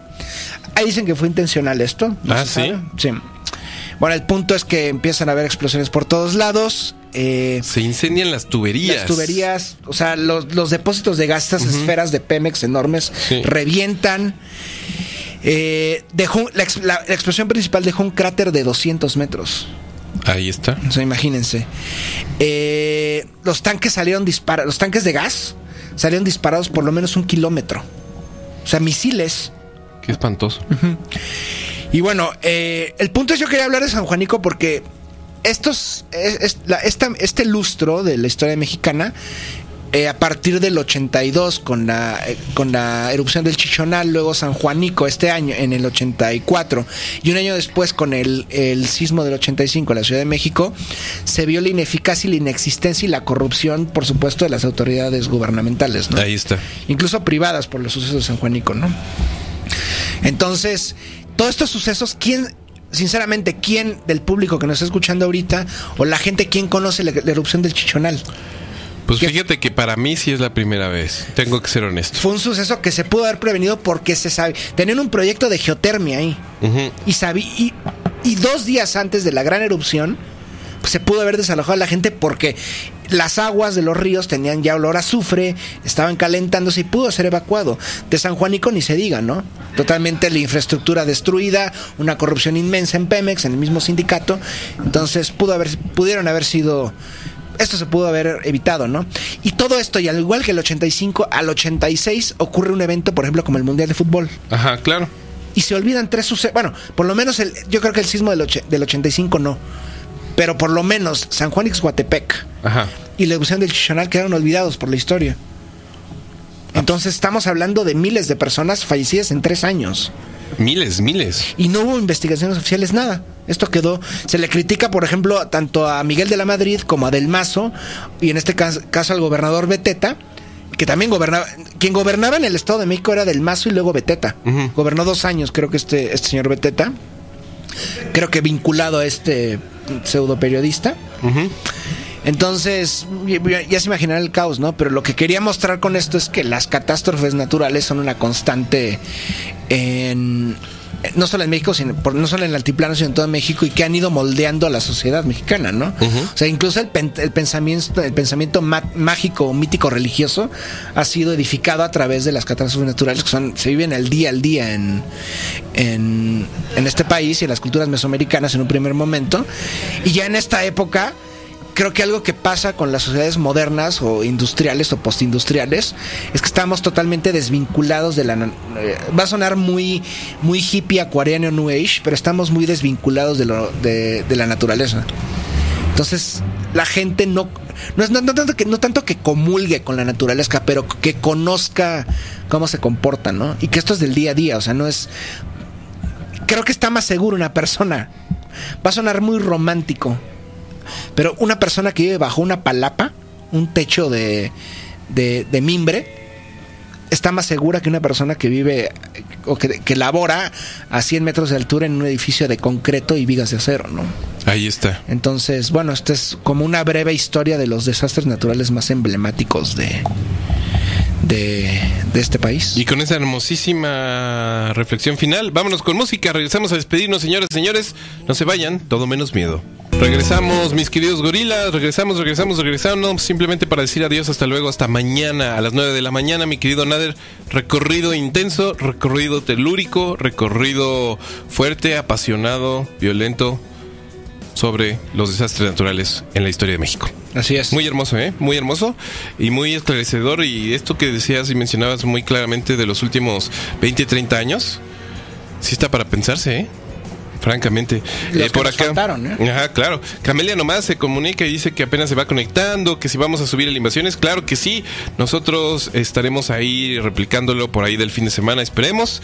El señor Cristian Nader hará una hermosísima y muy delirante edición al respecto y ya se comprometió a sacar el GIF de cuando me metí media concha en la boca. Ahí está.